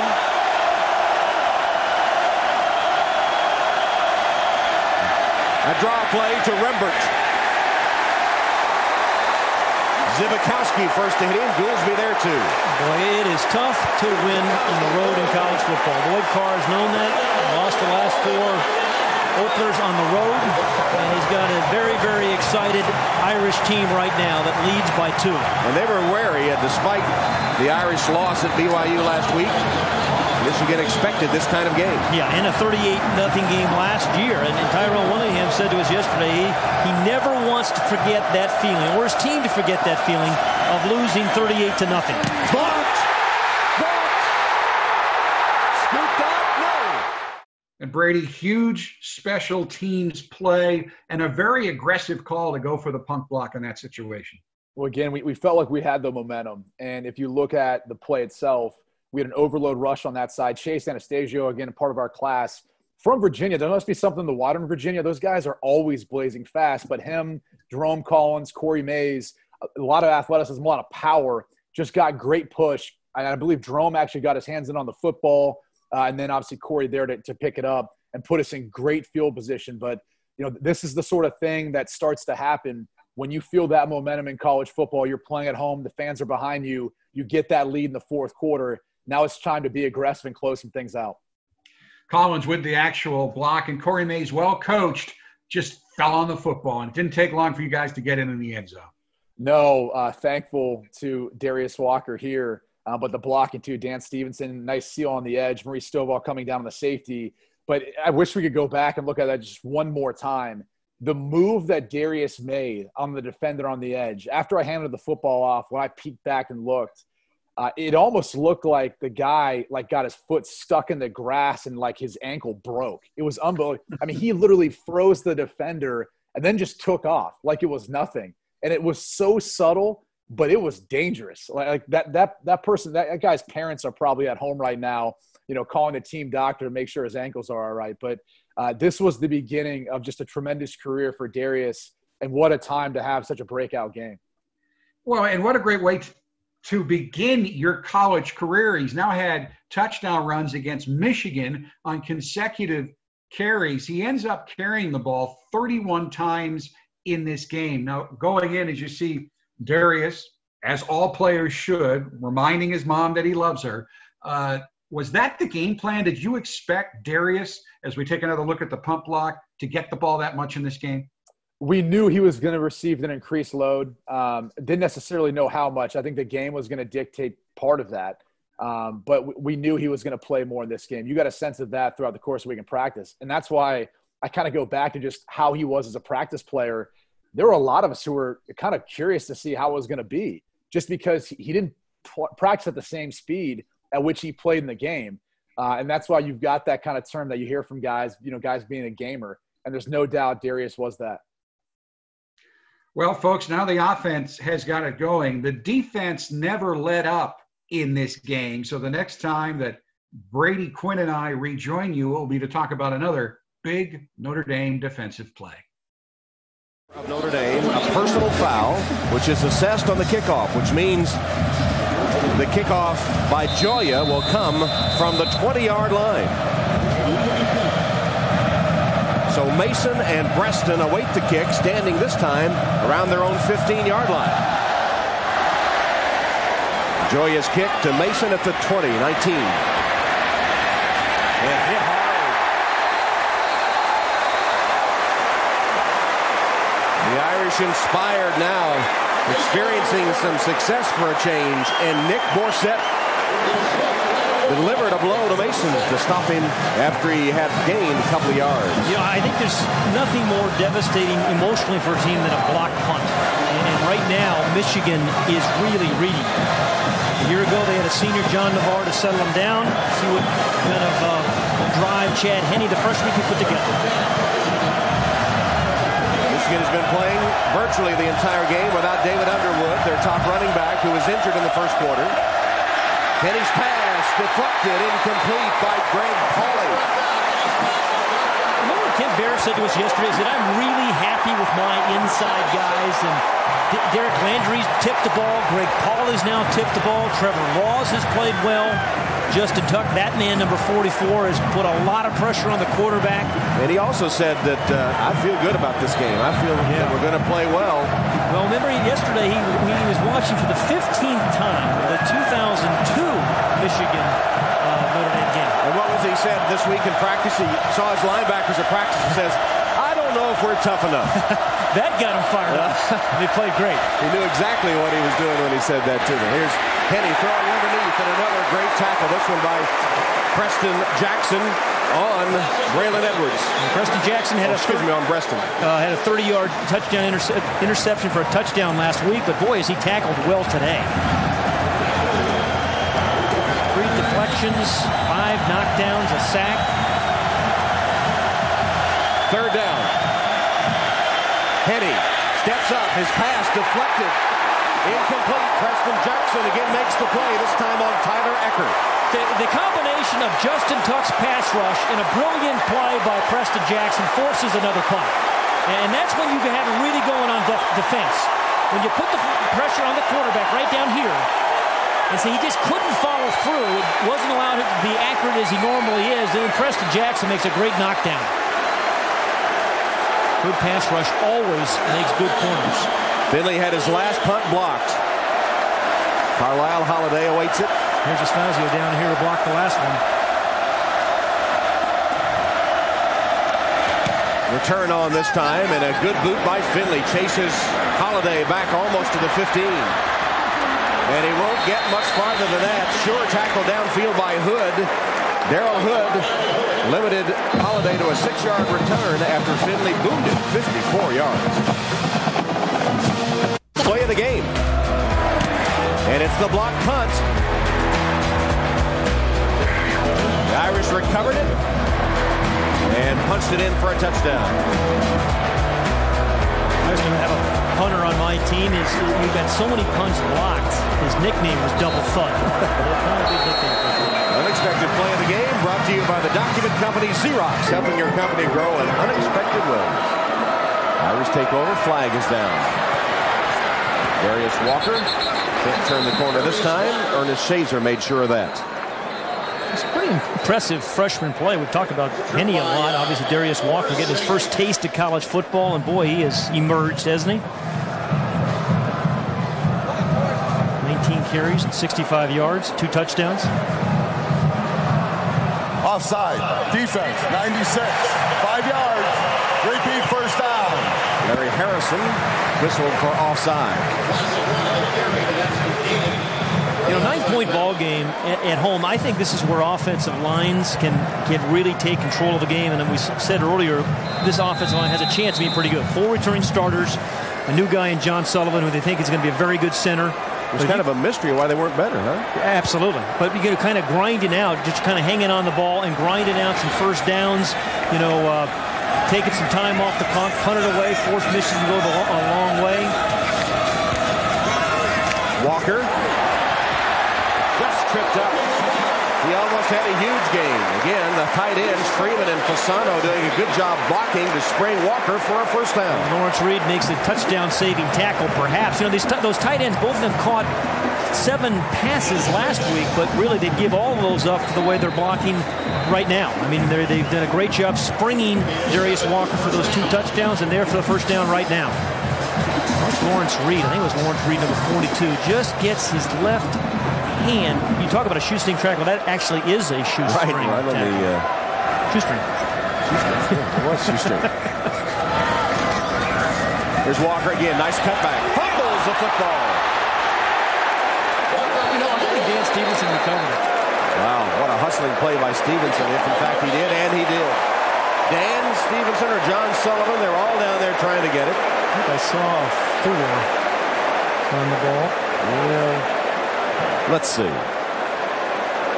Ball comes out, and again, we talked about the freshman running backs and ball security. Boy, big opportunity. You're right, it was 78. John Sullivan, freshman, or actually freshman eligibility wise, a sophomore from Old Greenwich. That's that water polo uh, training. You know, rugby play. or rugby, right. Yeah. So the Irish lucky on that one as they recover the fumble, giving them a first down at the 47. What does the coach do? They bring in the other running. As soon as, as, soon as the freshman fumbles, you yeah. bring in Ryan Grant. Grant the tailback. Take it to him. Quinn's pass. Too low for Fasano. What, what, a nice play call and an easy throw. Sometimes the most difficult throws when you have that wide receiver or tight end wide open. But Quinn has made it, several of those today, hasn't yeah, he? Yeah, just didn't look like he might get his feet set. Well, of course, he's getting something in his face. But that's, you know, that's keeps the drive alive. That would have been a first down. 8 of 18 for the sophomore Quinn. As time becomes a factor, each team has two timeouts remaining. Coming to the nine-minute mark. Stops on that incomplete pass at 9.09. And Darius Walker back in at tailback.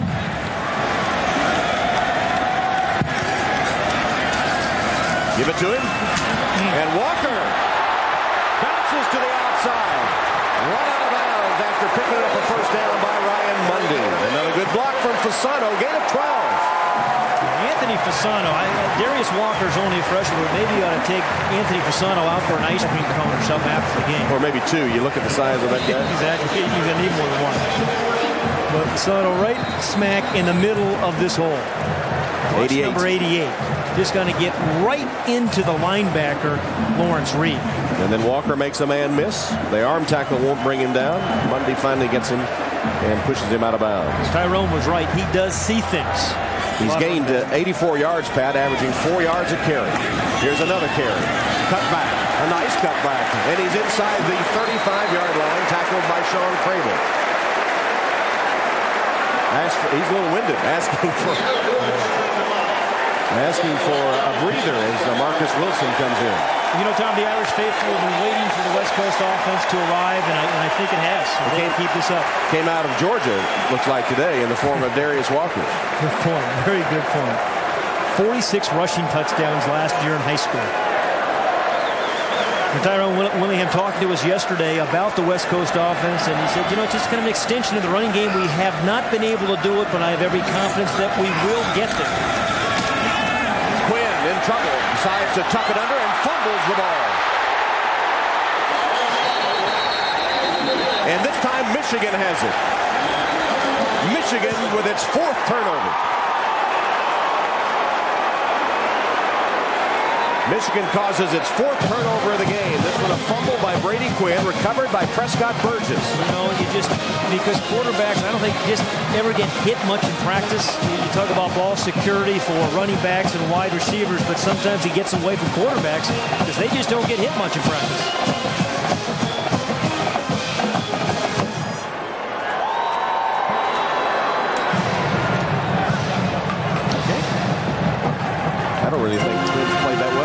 Missed a lot of throws. Eight of 18 for interceptions. Still can't tell him passing yards. Eight of 18. So I guess I should go down here.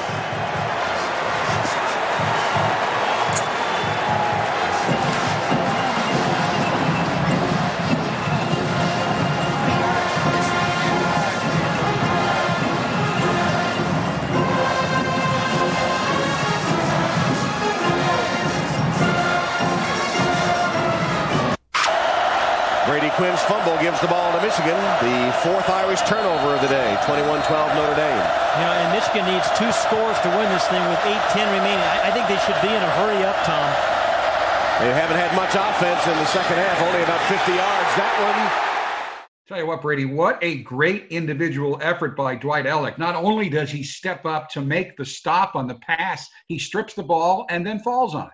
No, it was an incredible play and, and great game for Dwight. We talked about him matching up versus Brennan at times. Jason Avant's another guy that went on to play 11 years in the NFL. I mean, this was an incredibly talented Michigan team, and again, a reason why they're so highly ranked coming into it. Uh, and I think the biggest thing for me was I just fumbled. You know, I was trying to make a play, switching the football in my arms. The, the ball got stripped out, and after having gotten the lead at home the fourth quarter, probably pressing and trying to do a little bit too much this was one of those moments where, you know, when I came off the field, the defense was like, we got your back. And, and I think that's one of the biggest, you know, votes of confidence that you could have as a player. And as we saw in the replay after that play, I don't think I've ever seen that much emotion from Tyrone Willingham ever. I bet when he gets a hole in one, he doesn't jump that high. I, don't know about that. He's a pretty avid golfer, but uh, no, he, he understood exactly what that meant. It really erased the mistake that I had made and now you're clean again. Now you're controlling the clock. You're in plus territory. You have all those things working for you as you try to go and kind of continue to create separation. And look, he, he understood the pressure, especially after we lost out in Provo, uh, Provo, Utah. He understood how badly we needed to win this game. Well, I mean, he talks about it in the post-game interview that you'll see at the end of this broadcast. And when Notre Dame doesn't win games that people think they're supposed to win, the number one target not necessarily the quarterback, it's the head coach. So Tyrone was well aware of the targets that were on him and how important it was to turn it around and how meaningful it was. When you beat the number eight team in the country, that is tangible evidence that you've got a pretty talented football team that is playing well. And at this point in time, you know, Michigan and Notre Dame were battling for that, you know, all-time wins, all-time winning percentage. You know, that was things that were discussed before this game. Uh, now, granted, I mean, in retrospect, you know, you, you can't put the entire weight of history on your shoulders. It's just one game, so you really need to focus on that. But this was where, uh, again, we started to try to take some shots, make some big plays, and try to build off of the momentum of the Dwight Ellick fumble recovery or you know strip fumble and recovery. This was a huge play, and Rhema McKnight goes up and makes a heck of a catch. I mean, the names you had some pretty good receivers to throw the ball to. No, I did, and I think one of the things is you know you had to understand the, the type of guys you were throwing to. There, there wasn't going to be great separation, so you had to put the ball high to the outside where they could elevate and make the play. And I believe that was Curry for Michigan, and that, and that was who we picked on previously for a touchdown pass with Shelton. We weren't going to test Marlin Jackson. You know, he kind of got that that treatment where like Darrelle Revis, we played him the next year. You just don't really throw his way. You, you work on the other guys. We feel like you have a more favorable matchup, and that's what we did. Darius Walker trying to go for his third touchdown here. He will not get it. But uh, then we will see something that is a staple of the West Coast offense, and that's throwing the football to the fullback. that's right. We had one who was uh, had some really good hands. Rashon Powers-Neel, uh, one in particular. Who he was a great blocker, uh, but also a, a, really good target out of the backfield. And as much as we had been running the football with our two tight end sets and then our 21 personnel with, with our fullback sets, we felt like again this is an opportunity where we could get him out in some space and he'd be able to do the rest. So we'll let that play roll here.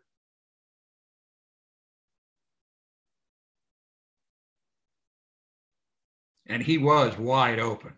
Yeah, and that's what happens. You know, the, the guy who's going to be responsible for him when teams play a lot of that post high safety defense, one safety in the middle of the field, everyone's down around the line of scrimmage, a lot of times man to man. The guy responsible for covering him is in the middle. It's a middle linebacker. So he's got to run up through all that traffic to be able to cover him. And that's where, when they're thinking it's a run initially, he only has to be one or two steps behind to get caught up. And then, you know, you got your fullback running free to the flat. And obviously, Coach Diedrick making an easy call for me, it being a rollout, uh, helped him make an easy pitch and catch. And you were very good rolling out, throwing the football in both directions, not just to your strong side. Yeah, it was something that we worked on. You know, I, I, remember having a conversation with Ty Willingham when I was coming to Notre Dame, and he said, "This is the West Coast offense. You know, we don't want to just prohibit you from, um, you know, going to one side of that. We want you to be versatile, be able to, you know, roll to your left, roll to your right, do a bunch of different things. We want to utilize that athleticism. So th- this was, in this case, uh, a staple of really what we were trying to do offensively." So a terrific second half offensive performance. Darius Walker becomes the first Notre Dame freshman to run for a, a hundred yards in five years. Julius Jones was the last to do it. Walker ended up with 115 yards on 31 carries, and you end up putting 28 points on Michigan in the second half. Which was huge for us, uh, all things considered, with the way the first half went, and really just kind of licking some of our wounds coming off of the loss to BYU. Um, you know, we knew how big this game was to us. Going back to the conversation of what happened the year before, everything was about beating Michigan. It was ingrained in our heads, and, and this rivalry meant so much uh, because of the date, September 11th, because of the rivalry. For me personally, my first chance to start against Michigan. Um, didn't play my best game, but we got the win, and that was all that matters, or all that mattered to me. Looking across the sidelines, uh, at Lloyd Carr, at Scot Loeffler, a lot of the guys who had recruited me, Jim Herrmann in particular, who was on the defensive side of the ball, but he was our area recruiter there in Columbus, Ohio. So uh, it meant the world to me to be able to find a way of just winning this one. So as you can see, folks, 545 remaining in this game, and I don't care who the coach is, at some point in time during their careers, they're criticized for clock management in a game like this. Clock management is going to be important. Michigan's going to score here again, but Notre Dame's going to do a pretty good job of clock management. And when all is said and done, this game is in the books. Brady and I will come back to wrap up tonight's game watch. The biggest play of the game, the block punt by Notre Dame. And then over again, once more, Dwight Ellick seizing the ball from the receiver, Avant. Those four or five plays have really been the difference in this ball game. And I've seen more emotion out of Ty Willingham yes. today than I've seen in three years. Absolutely. You know, I think his players like them. I think they, they, feed off And his pass is low, incomplete, intended for Breaston.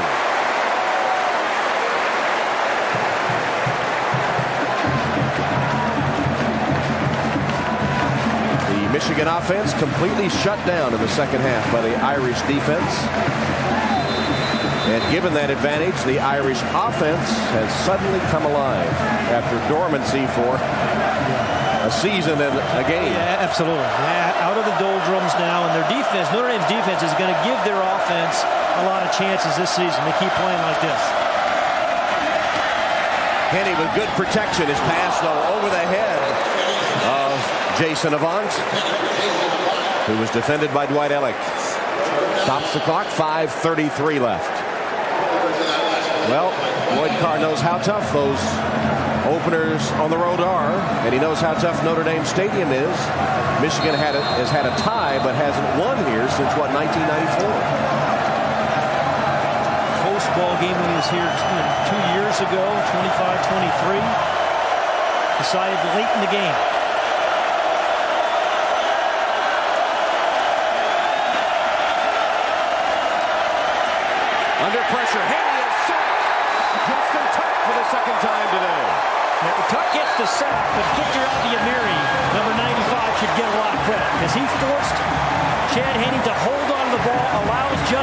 Justin Tuck come from the backside. Two really good pass rushing ends. Abiamiri right here really forces him to duck, and that allows Tuck, number 44, to clean it up. And clean it up he did. So Finley is on for another punt.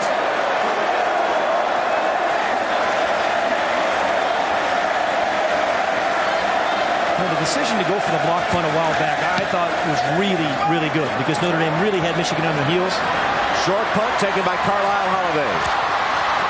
And Holiday takes it all the way back to the 42-yard line. That's been a good move for the Irish today, too, putting Holiday back returning punts. Had one big gainer nullified by a penalty. Things looking good for the Irish.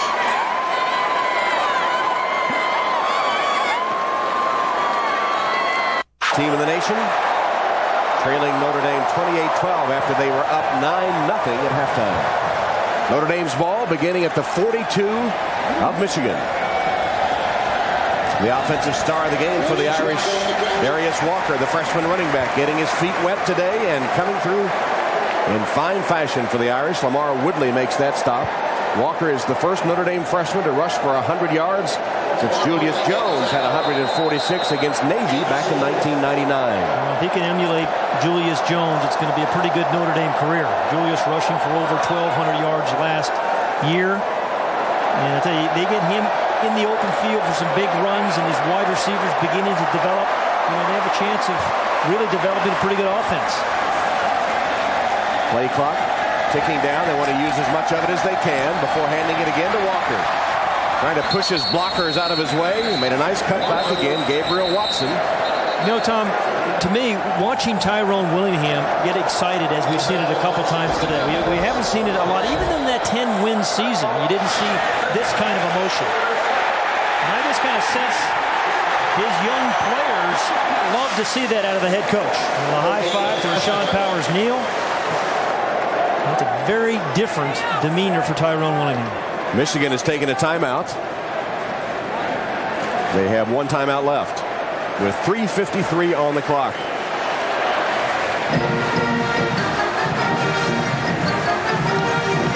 Ryder Cup's coming up. Yeah. be, uh, in Michigan. And Tyrone Willingham was being considered for a spot on the team. Look at him getting ready for the Ryder Cup. Let's look at his form. Would he be selected? Well, looks good for him, but not quite. Not no. quite good enough to make the Ryder Cup team. But I'm sure he'll be interested in the result. And if you are too, we assume you are, one of the great golfing events, the Ryder Cup, begins on USA next week and then winds up Saturday and Sunday on NBC. Great, great golf track. Oakland Hills South. Starts Friday at 8 a.m. Eastern and Pacific on USA, and then Saturday and Sunday on NBC. All the coverage of the Ryder Cup. You won't tell anybody in my, my office how I'm watching Friday morning. I go in late. Promise. I bet you'll be found out. Well, you know, Tyrone Willingham, we saw him yesterday. We asked him how you're doing. He said, about as good as you can for a guy in my position. If he can hang on to win, he's going to really exhale this afternoon. In fact, that's what he said next. He said, you know, a win would cure everything. I don't know if it'll cure everything, but well, it'll go a, a, long way. But uh, against a worthy opponent. Yeah. You know, the eighth-ranked Michigan Wolverines, a team that won 10 games a year ago, that won the Big Ten. And you know, all since that 38 nothing blanking by Michigan last year, the coaches didn't want the players to forget that. They said in these workouts, do 38 reps. They were always reminded of the number 38. And we asked Tyrone about that too, and he said, I didn't want them to ever forget it. And said, not just as it relates to Michigan, but as it relates to the class football programs that we have played, because we haven't played well against the big names. Look at the day they have. And here's what's coming up for the Irish. They go to East Lansing. You know what part of uh, Michigan that's in? Uh, East Lansing. We go to Lansing, then you go due east, I think. Yeah. I had to pay you back. Yeah. Washington, and then Purdue looks like they're a pretty good uh, ball club, and an improved Stanford team. We'll have all three of those games, of course, on NBC.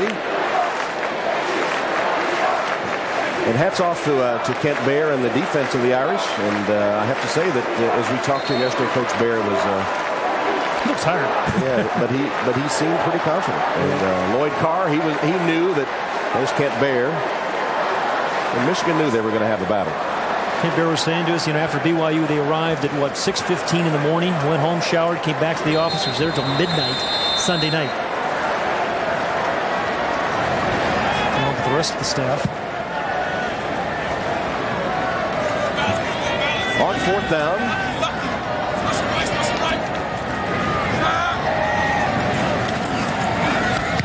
Fitzpatrick with another Cooch punt. Breaston will let it bounce into the end zone for a touchback. Kasey Dunn, who made that long snap right there, is a guy that made recovery early in the game, but he has snapped well in punt formation. One of those uh, talents that coaches really appreciate. Offense this first half, or this second half, has not been particularly good. Here's how good they have not been. Okay. That's, eight possessions, 27 plays. One first down, three points. Plus a lost fumble, an interception, and a block punt. I mean, some of that's awfully good defense by the Irish. Wouldn't you admit Dwight Ellick has played great? And they've been without that man Underwood for virtually the entire game, their top rusher. Injured in the first quarter. Henne's pass complete to Avant. Tackled by Carlos Campbell. You know, so much of football, I think, is a game of confidence, and, and maybe Notre Dame was a little staggered last week after the BYU lost, but I think a win at home against a quality opponent has got to give this team great confidence. And as they go on the road to Michigan State, they're going to feel a lot better about themselves than they did last Sunday. Dudley gets a carry, only his second of the season. You know, uh, if the fan, if the players weren't staggered by the loss to BYU, the fans certainly were. Notre Dame's last three wins against top 10 teams 1998 against number 5 Michigan 2002 against number 7 Michigan as Braylon Edwards takes it down out of bounds Run out by Preston Jackson after the big gain of 27 yards. Well, Preston Jackson has had a really good game. We talked about Dwight Ellick, but Preston Jackson, number 15, has played very well for the Irish. Very good tackler. A hustling play ran about 40 yards to make that tackle on Braylon Edwards. Clock becoming a factor. Almost three minutes.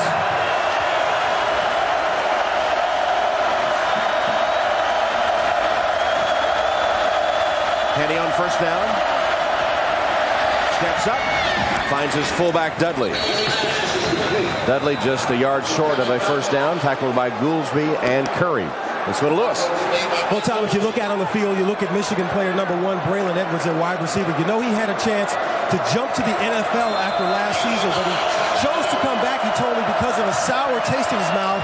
The big one was, of course, the loss to USC in the Rose Bowl last year, but he said he also had a sour taste in his mouth from the loss that they'd suffered two years ago against Notre Dame, 25-23. And Braylon telling me before the game that being in Notre Dame Stadium today was one of the reasons he chose to return. But it looks like at this moment, with 2.41 left on the clock, he'll have to leave here with that sour taste still in his mouth. Tom? Clock stops at 2.41 after the incomplete pass from Chad Henne.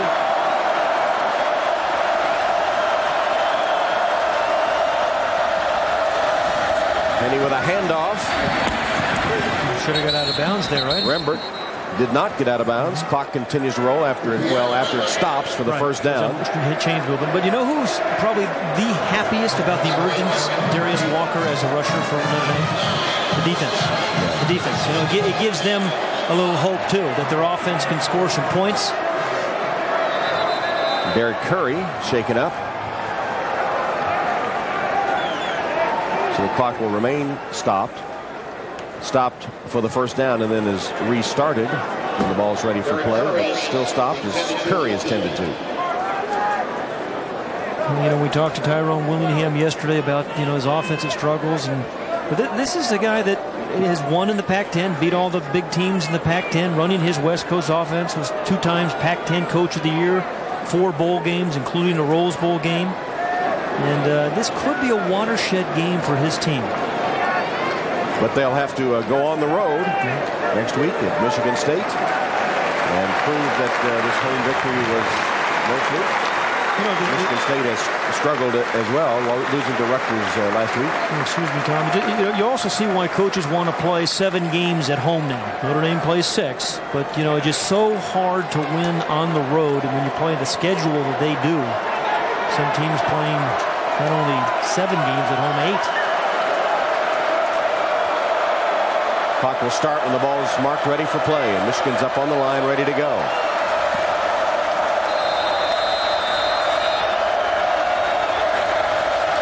Chad Henne looking to the end zone. Wide open. Touchdown. Steve Breaston.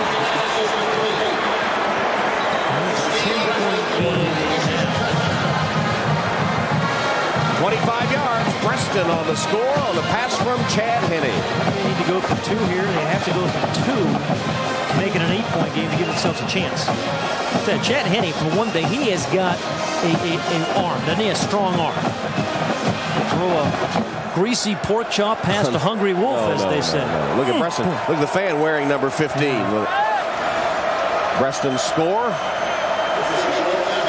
Two-point play to make it a, a, a uh, eight-point game. Breaston was wide open on that touchdown reception. And now the Wolverines go for two.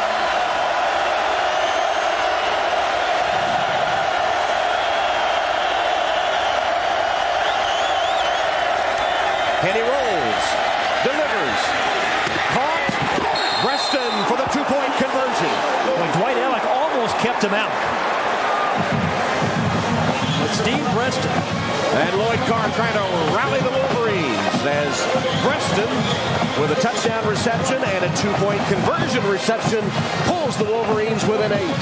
Yeah, 2.27 left. Absolutely. Good good call turned up a little bit late and almost knocked out of the uh, on the sideline by Dwight Ellick. The official right on the spot hit the pylon into the end zone. That's a two-point play. Lloyd Carr getting his team fired up. Now he's going to make the decision: Do I do I attempt the onside kick? Well, 2:27 left. He's got no timeouts remaining.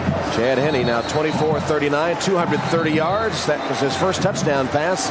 He has thrown an interception. You know, I think if you had a few timeouts, maybe you kick it away and try to play defense. I think with no timeouts, Michigan has none. I think you have to attempt it.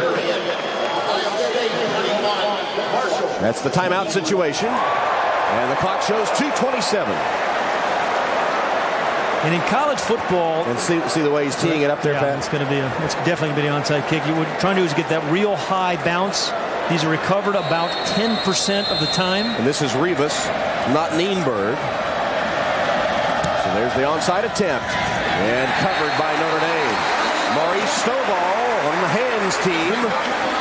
Collars it. He's had some hands today, hasn't he? He's had that breakout game.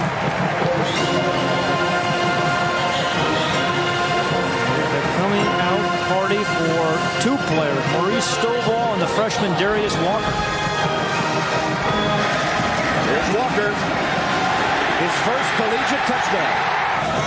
And he wasn't finished yet. 28 carries, 109 yards, and two touchdowns for the freshman. He's got some make you miss him. He does, and he nearly broke free there. Quick starts, too. Doesn't Darius Walker just get started so quickly? His eyes are always looking downfield. And Pat, we said the other breakout game, Maurice Stovall, five catches, 82 yards yeah. today, and it was the way he did it, too. Yeah, absolutely. Went over some people and made some adjustments to the ball in the air. Kind of settled down. Remember that one sight adjustment where we saw the blitz? It was a smart play by Maurice Stovall as well. Michigan cannot stop the clock, which is inside two minutes.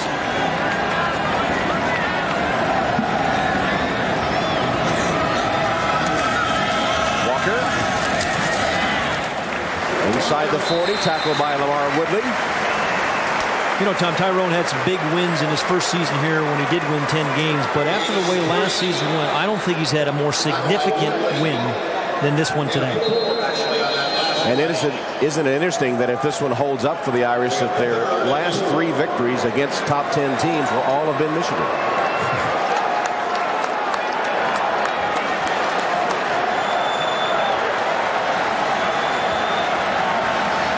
Third down.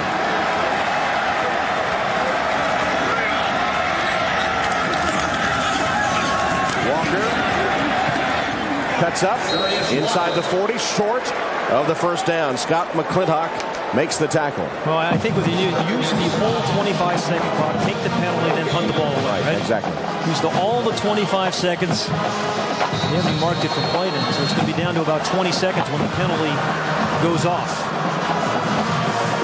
They're going to use a timeout.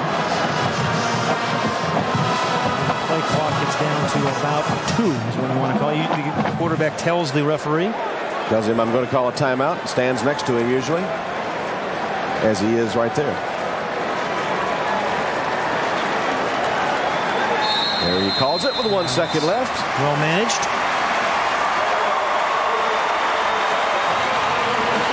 And the Wolverines, only 20 seconds left to try to pull one out. Here's what they face coming up.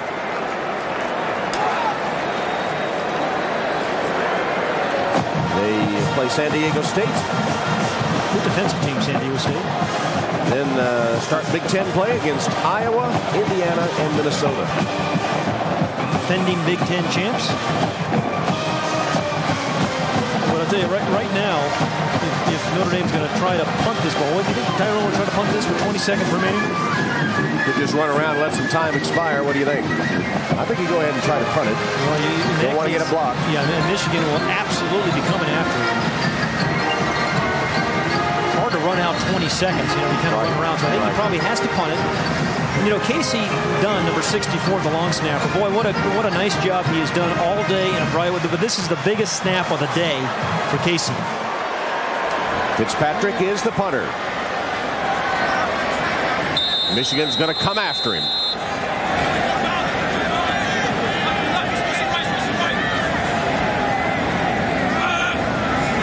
Snap, a little low, but Fitzpatrick boots it away with no problem. Breaston's going to let it bounce into the end zone. Batted back out. It didn't break the plane. Whoa, they're going to mark it inside the five-yard line. It's the ball that counts. No matter are, if the ball does not break the plane of the end zone, That's some, good, some really good special teams. First, to get this ball off. And DJ Fitzpatrick does a nice job of recovering a low snap. and look, That's all he wanted. Carlos Campbell bats it to Stovall. And as you said, even if he is in the end zone, that doesn't make a difference. If the ball's outside, Right, the ball has to break the plane, and now they say it did, I guess, because they're bringing it out to the 20. But the rule is different from the NFL rule. It's the ball that counts, not the player. nine seconds remaining, and it's very, very tough to throw a Hail Mary pass against Notre Dame. Nine seconds left, Ben. Yeah.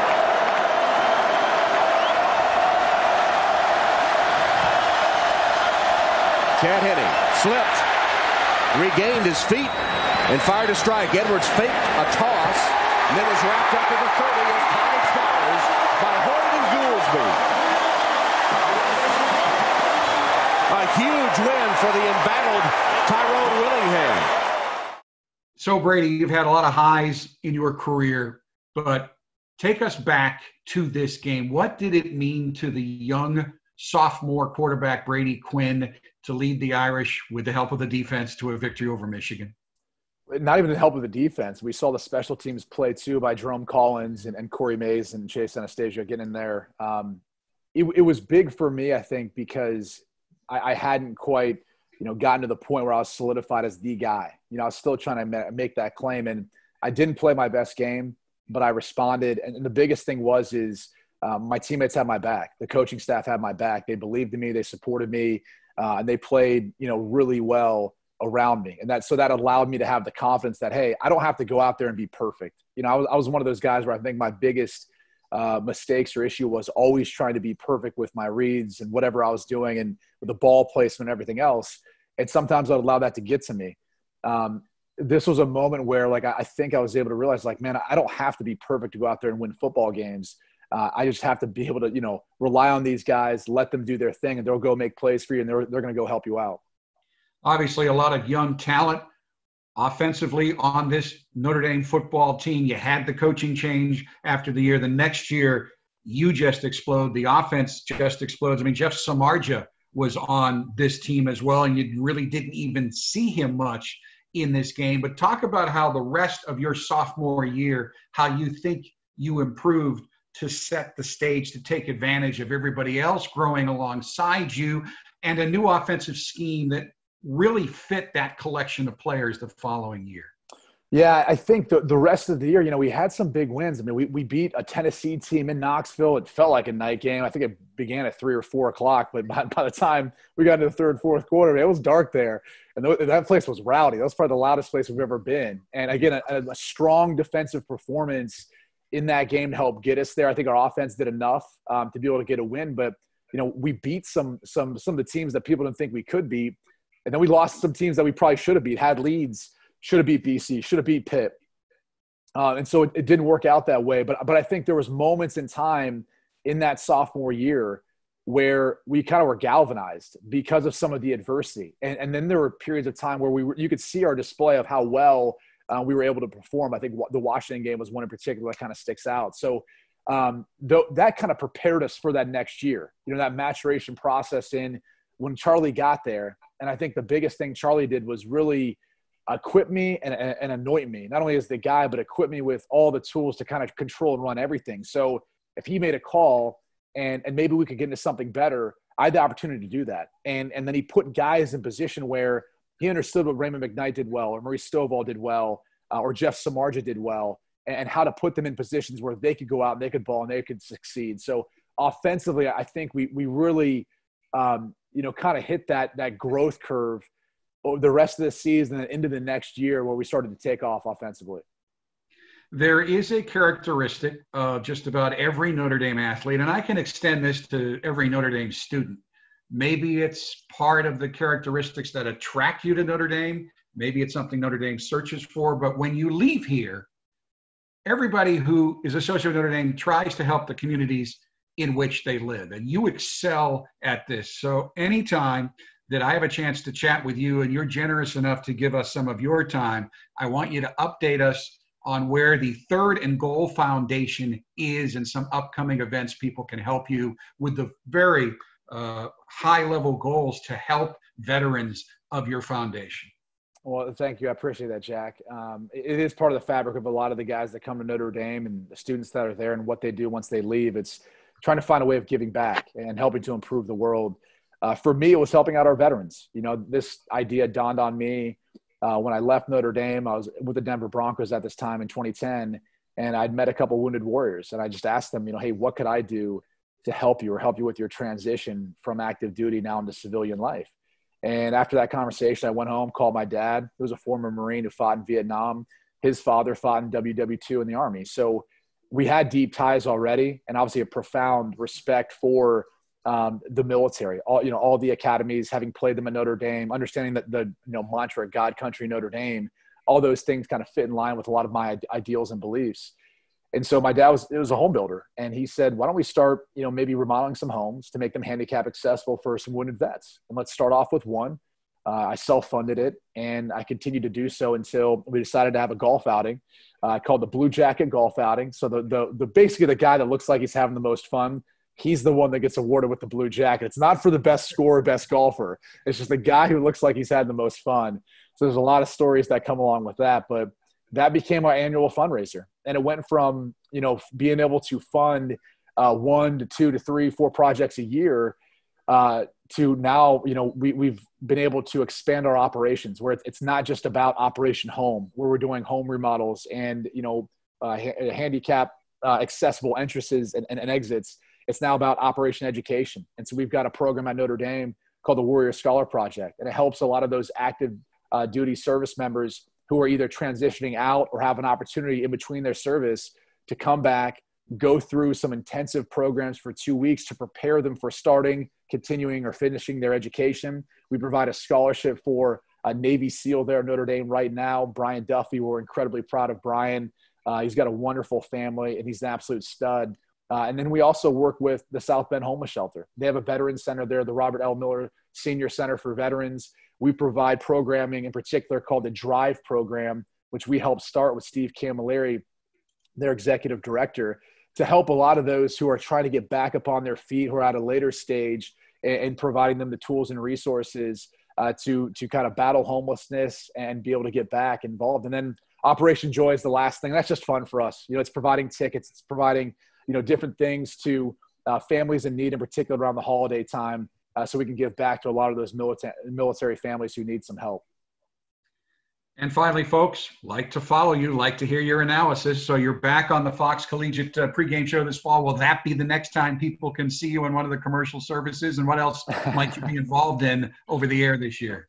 Yeah, so uh, I've got a I've got a long list of things that I'm doing. So uh, I'm, I'm working for Fox doing the, the college football pregame show. That's kind of as of now. There could be some other things that pop up.